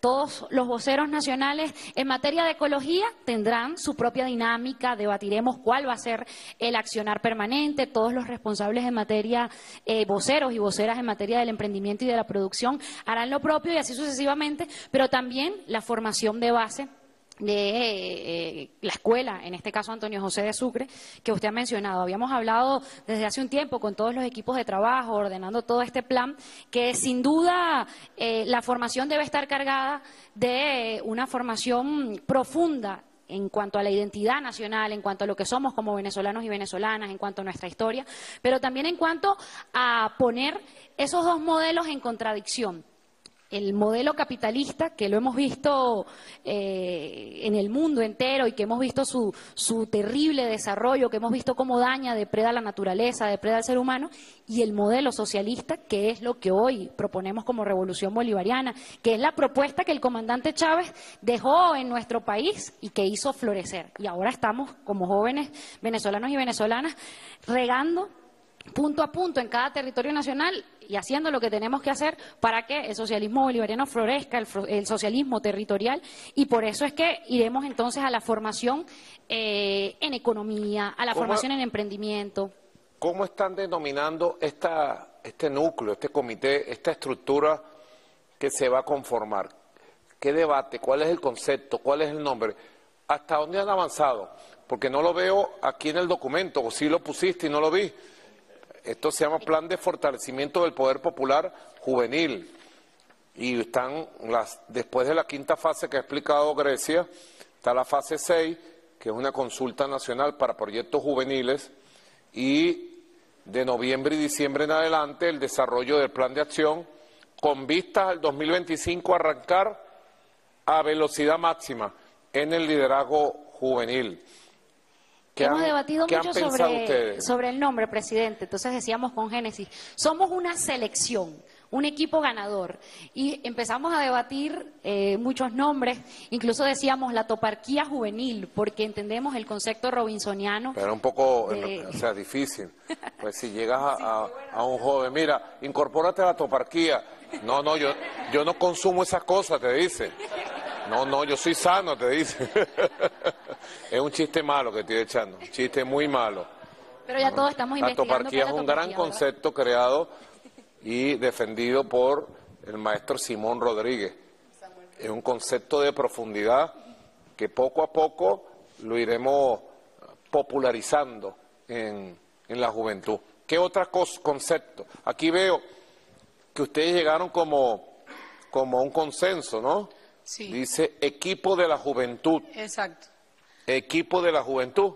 Génesis. Sí, presidente, porque justamente la palabra equipo nos convoca a esa construcción colectiva del liderazgo, ¿no? No radica en nadie en lo individual, sino que es parte de una colectividad que hace vida en el territorio, porque allí en el territorio no todos quieren ser líderes políticos, ahí hay eh, deportistas, cultores, ecologistas, gente que se identifica con otras áreas de la vida y nosotros creyendo en que el trabajo colectivo es lo que nos convoca, decimos equipo. Y equipo es como cuando jugamos béisbol, equipo es como cuando juega el vino tinto, el equipo, ¿no? Ese trabajo en el que se involucra un colectivo para sacar un objetivo adelante. Y creemos que ese equipo de la juventud es una palabra convocante, como lo decía Grecia, estuvimos pensando en escuadra, escuadrón, brigada, y el consenso de todos los que debatimos fue que equipo, además como equipo que somos de Nicolás, de Chávez, de Bolívar, bueno, ahora el equipo de la juventud en la calle, en la comuna, en el circuito comunal. Bueno, entonces nace 4.000, 49.000 equipos de la juventud en los consejos comunales y de ahí vamos a la conformación de poderosos equipos de la juventud en los 4.530 circuitos comunales, ¿verdad? ¿Qué dice Ángel Prado? Presidente, hay, mucha, hay mucho entusiasmo. Nosotros hemos estado recorriendo en diferentes estados, estuvimos en una comunidad rural el fin de semana y me animó tanto que un joven de 27 años lidera un proyecto de un circuito comunal y están construyendo un puente. En las ¿Dónde, entrañas- dónde, dónde? En las entrañas de las montañas entre Lara y Portuguesa, presidente. Tú me mandaste unos videos Sí, buenísimos. muy bonito, una tremenda experiencia. Pero en ese mismo momento estaban nuestros compañeros en los barrios de Caracas, presidente. Pero también hay un equipo que estaba en Amazonas, en una comunidad indígena. Hemos invitado para las escuelas de formación y hay un entusiasmo bastante grande. Estuvimos por Nueva Esparta y hay mucha experiencia, presidente. Por ejemplo, en La Vega, donde viene la muchacha de Renacer eh, de Bolívar. Ahí estuvimos en una asamblea un día domingo por la tarde. Habían personas de 60 años, pero había otro de 40 años que dice que ese líder fue su ejemplo para él incorporarse a la lucha para mejorar el barrio. Pero había una generación de personas de 30 años. Y vimos a una joven y empezamos a conversar con ella. Y esta joven ya tiene armado un gran comité, es decir, una gran convocatoria. Incluso muchachos de 15 años, esta, esta otra muchacha tiene 14 años, y hay jovencitos de 12 años que están entusiasmados. Quieren formación política, quieren trabajar, quieren seguir estudiando, quieren y aman a su barrio, quieren transformar eh, y mejorar la vida en el barrio, quieren hacer deporte, quieren hacer cultura, comunicación y quieren construir ese tejido nacional, presidente, entre la juventud, conocerse, jóvenes de Ciudad Caribia, van a ir a un encuentro de fútbol, por ejemplo, en la comuna del Maizal, jóvenes de los barrios de Barquisimeto quieren venir a la escuela de boxeo en Ciudad Caribe, es decir, nosotros somos responsables, la gente más adulta somos responsables de encontrar, reencontrar a esa juventud que se conozca, que construya confianza, que construya identidad y que en sus recuerdos para siempre, como nos tocó a nosotros, pues quede marcado en esos muchachos pues su inicio en la vida social o en la vida política y por supuesto en la vida económica, porque también el joven es muy productivo. Hay bastantes muchachos con expectativas, se está esperando este anuncio oficial por parte de usted. A nosotros nos han dicho que para cuándo son las escuelas de formación. Eh, es una escuela que dura nueve días y la hemos, la hemos hecho primeramente en el estado Lara. Ahora vamos a siete escuelas en las regiones, en diferentes regiones del país. Hay un programa que se llama La Comuna es Joven, donde hay instructores pues venezolanos, pero también algunos compañeros de movimientos sociales de Latinoamérica que nos están eh, trayendo las ideas, las formas de lucha, por ejemplo, en Argentina, en Brasil, en Centroamérica, y que hay ese gran compartir. La juventud también tiene que ser internacionalista, presidente, porque no es la lucha solamente de Venezuela, ¿no? Venezuela no es una isla, es la lucha de todo el continente que no va a dejar pasar el fascismo, que va, va a formarse, va a crecer y se va a ser responsable de la política, de las riendas de nuestras naciones y que le dará continuidad a la obra que mucha gente, muchos referentes de esas generaciones que han luchado tanto pues en nuestros países han construido, han dejado un legado y que es responsabilidad de esta juventud prepararse para gobernar, formarse para gobernar, formarse para los grandes desafíos como la economía, por ejemplo, la comunicación, eh, el trabajo social, el trabajo de transformación eh, de los barrios, de los servicios públicos. Si la energía de la juventud llega como esperamos, y sé que va a ser una realidad porque nosotros andamos en los barrios, en los campos, pues el Consejo Comunal se va a fortalecer, la comuna se va a fortalecer y seremos una gran fuerza nacional con su liderazgo, presidente, y con este momento interesante de la economía del país y este cambio en el método y en la forma de hacer la política, pues nacerán millones de hombres y mujeres que trabajarán por esta patria, pero también serán millones que se convertirán en dirigentes y en dirigentes políticas y será esa juventud socialista que venga a darle continuidad a la obra del comandante Hugo Chávez. Correcto, vamos a aplaudirlo, vale, ¿dónde está inspirado?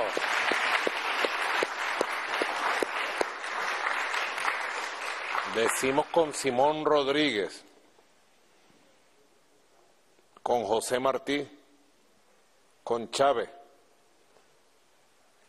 aprender haciendo y hacer aprendiendo, ¿verdad? Y si tú dices, se trata de aprender a gobernar, a tener el poder político, que no es de las élites, de los apellidos, ni del imperialismo, quien tiene que ejercer el poder político. ¿Qué dice la Constitución? En el artículo 5, escrito por el comandante Chávez de puño y letra. ¿Cuál es el espíritu fundamental de la democracia participativa, protagónica, fundada en 1999? que supera la democracia falsa, burguesa, representativa de élites. Artículo 5. La soberanía reside intransferiblemente en el pueblo, quien la ejerce directamente en la forma prevista en esta Constitución. Ejerce la soberanía directa.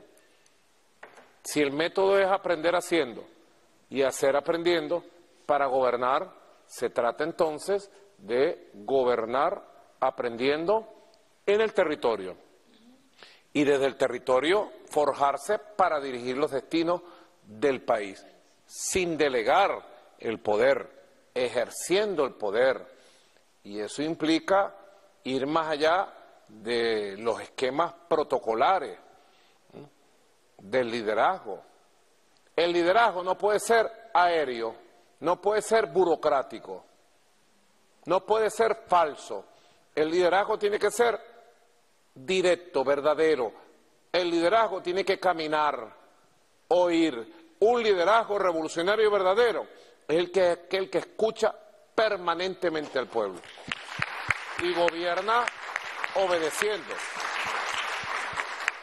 Ah, eso trae dificultades. ¿Qué dificultades trae? Que implica más trabajo, mejores metodologías, pero cuando uno se va ejercitando, las cosas van mejorando, ¿verdad? Es como el mismo deporte, Arnaldo. Cuando uno va haciendo el ejercicio, ¿ves? tú vas superándote.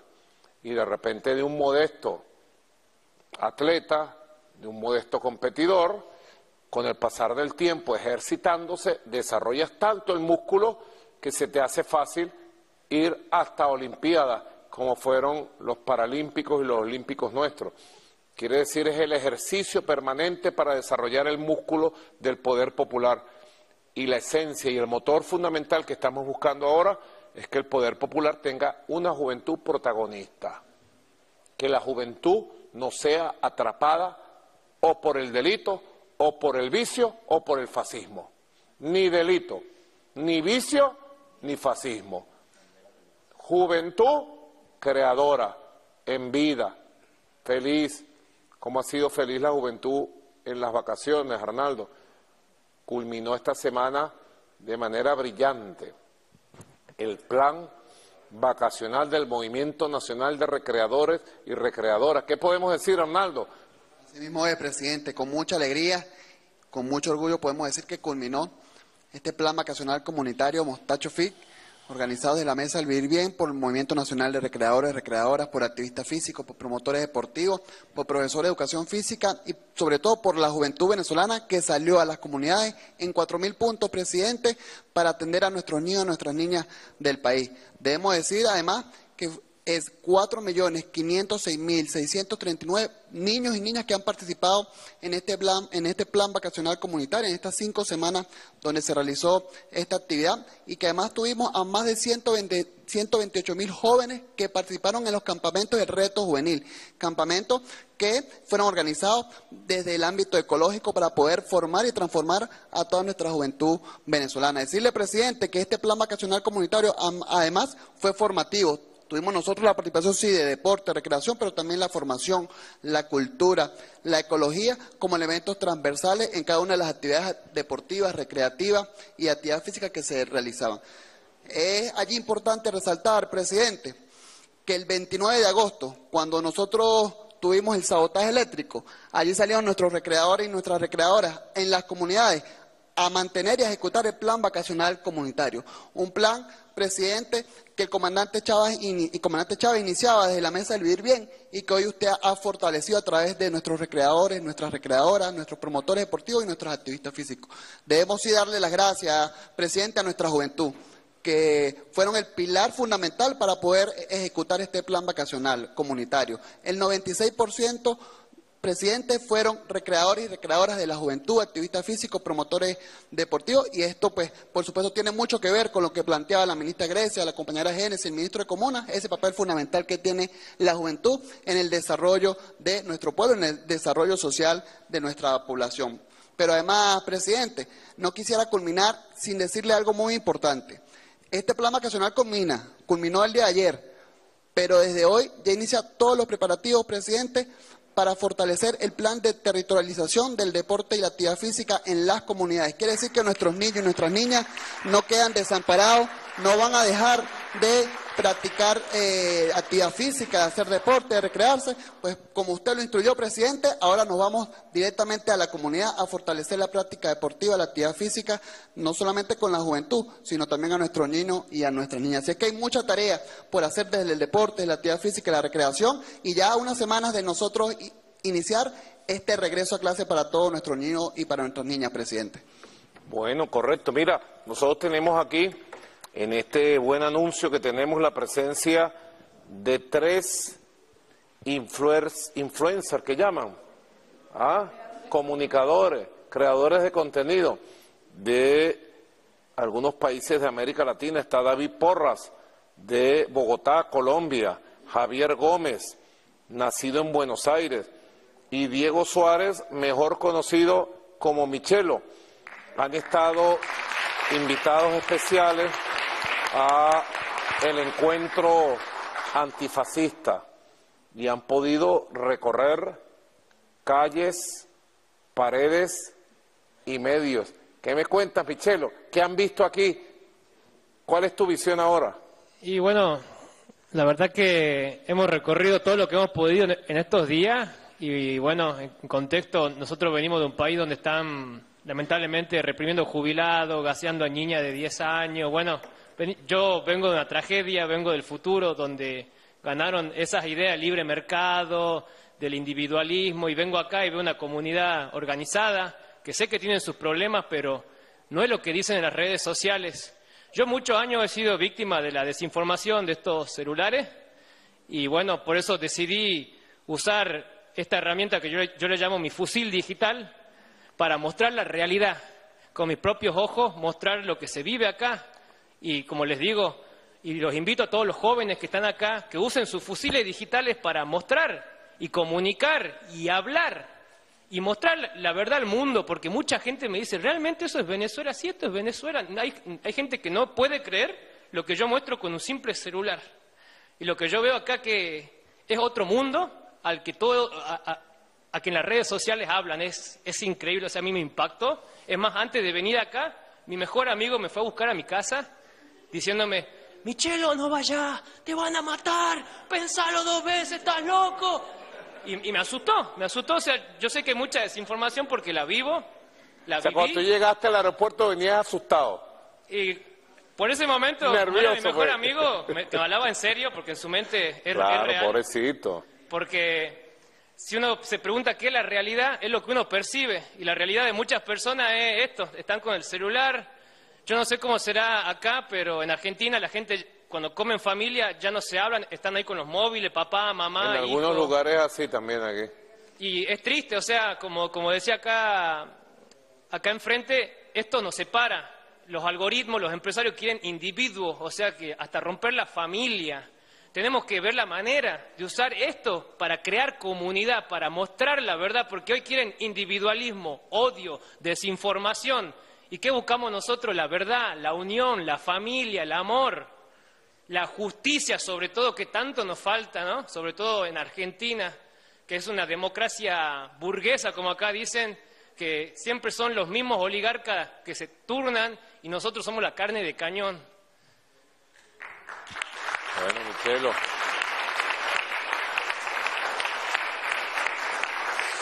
Sobre Venezuela se derrocha una campaña brutal, porque somos la joya de la corona en este momento. Y el imperio decadente del norte quiere garantizar su espacio vital, lo que ellos llaman el patio trasero, ellos nos ven a nosotros como los habitantes de un patio trasero que les pertenece a ellos desde la doctrina Monroe. Pero hay mucha historia hermosa en nuestros pueblos, hay muchas razones por las cuales luchar y además hay una esperanza recrecida. A la mentira se derrota es con la verdad de la calle.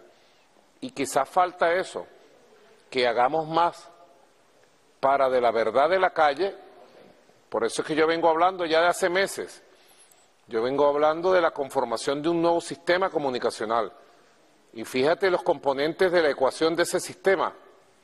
Yo digo, de las calles a las redes, de las redes a los medios, de los medios a las paredes. Y le agregamos otro que es muy venezolano, una expresión muy venezolana, de las paredes a la radiobemba. Porque nosotros, la radiobemba es esto que está aquí, mira, la comunicación. Nosotros en el año 2002, estaban muy jovencitos, algunos de ustedes no habían nacido, derrotamos un golpe de Estado perfecto con pura radiobemba. No teníamos medios, estaban silenciados, comenzaron a pasar Tony Jerry. ¿Ustedes saben qué es Tony Jerry? Un cómic, una comiquita, le decimos en Venezuela. Mientras el pueblo empezó a salir a las calles el 12 de abril, el 13 de abril, por millones, pasaban en las televisoras Tony Jerry, las radios silenciadas, no había redes sociales.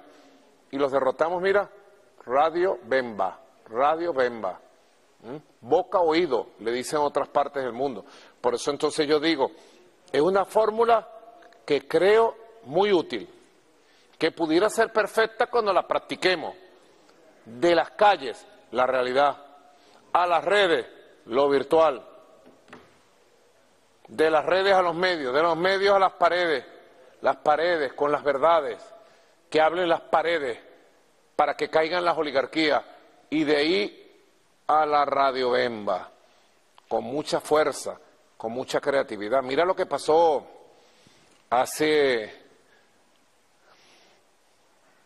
hoy es 16, hace un mes. Ustedes que son expertos en, radio, en, en redes sociales, aparecieron los grandes influencers.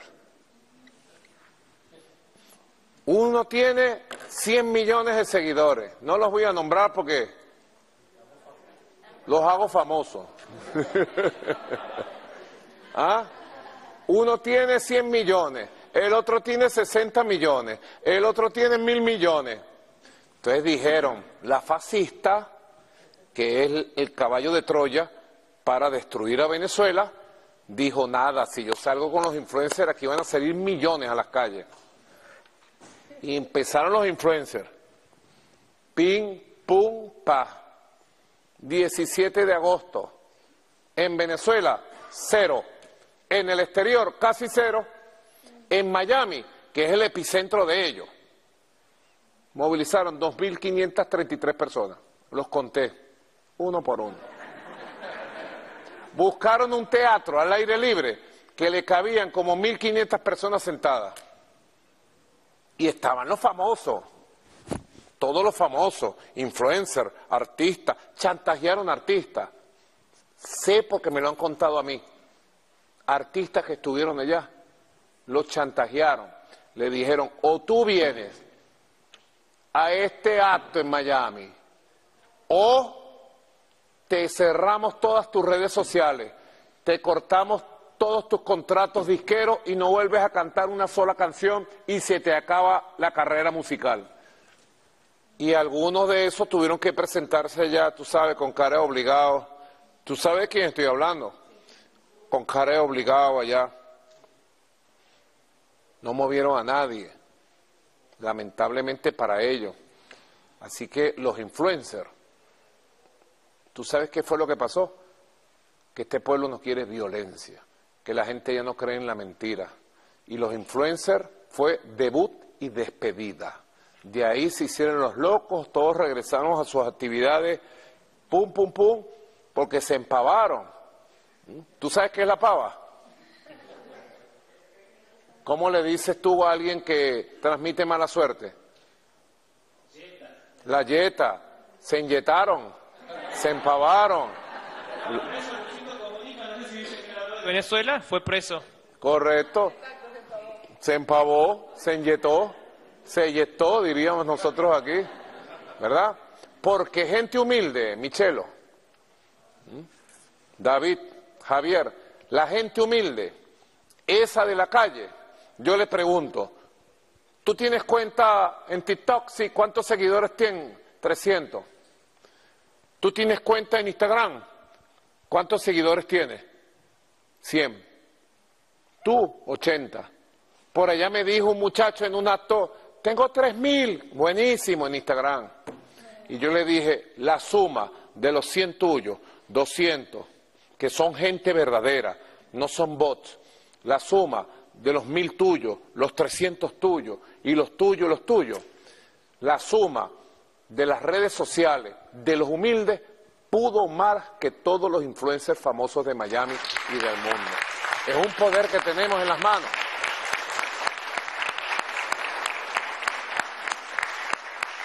Hagámonos poderosos con la verdad y sepamos que nuestra causa trasciende a nuestra propia vida, a nuestra propia existencia. Es una causa que engloba a la humanidad, porque o la humanidad consigue su propio camino, de un mundo diferente, no colonial, no imperial, un mundo de paz, o se impondrá el fascismo 100 años después. Yo no creo que el fascismo tenga posibilidad de tomar el poder político y de colonizar el resto de la humanidad. No creo. Hubo gente que luchó en peores circunstancias. Hace 51 años fue el golpe de Estado contra Salvador Allende. De Salvador Allende también dijeron, mil cosas. No había redes sociales, pero yo recuerdo siendo niño cuando uno prendía la televisión y veía los noticieros, muchachos. Yo lo recuerdo y le preguntaba a mi papá, ¿qué está pasando en Chile? ¿Quién es ese señor Salvador Allende? Yo era un niño y mi papá me explicaba, no, que en Chile quieren dar un golpe de Estado, que hay un proceso popular de izquierda, progresista, que quiere un nuevo modelo de sociedad, es un buen líder, pero lo demonizaban para justificar lo peor contra Salvador Allende.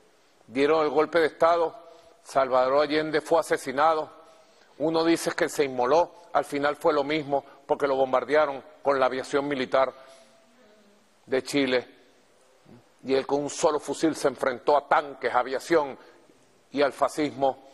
Y días después fue capturado Víctor Jara. Busquen a Víctor Jara recuperan a Víctor Jara. Víctor Jara en Chile y en América del Sur era como para nosotros Ali Primera. Eran juglares de una generación virtuosa que llenaron de poesía, de música y de canto a todo nuestro continente. Víctor Jara era odiado por los fascistas, fue asediado, fue capturado, lo llevaron a un campo de concentración, el Estadio Nacional de Santiago de Chile. Allí fue descubierto por unos fascistas, lo capturaron, lo torturaron, lo balearon, lo fusilaron y después tú sabes qué hicieron. Le cortaron las manos, le cortaron los dedos, creyendo él que Víctor Jara no iba a seguir cantando. Y Víctor Jara siguió cantando. Y Víctor Jara animó la esperanza del pueblo de Chile que luchó contra el fascismo y después lo derrotó. Y Víctor Jara, hoy, en el aniversario 51 de su asesinato criminal por parte de Augusto Pinochet y los fascistas de entonces, hoy vive más que nunca. Y quiero despedir esta emisión del programa con Maduro Más, con el canto de Víctor Jara y una canción hermosísima que deberíamos hacer viral, muchachos, en el ritmo que ustedes quieran, con una letra hermosísima que hizo trascender el espíritu y la idea inmortal del gran Víctor Jara, el gran cantor de Chile y de nuestra América. El derecho a vivir en paz. Bueno, buenas noches a todos. Que viva Víctor Jara, que viva la libertad y que viva la vida. de vivir, poeta Ho Chi Minh, que golpea de Vietnam a toda la humanidad. Ningún cañón borrará el surco de tu arrozal, el derecho de vivir en paz. Indochina es el lugar más allá del ancho mar donde revientan la sol con genocidio y napal. La luna es una explosión que funde todo el clamor, el derecho de vivir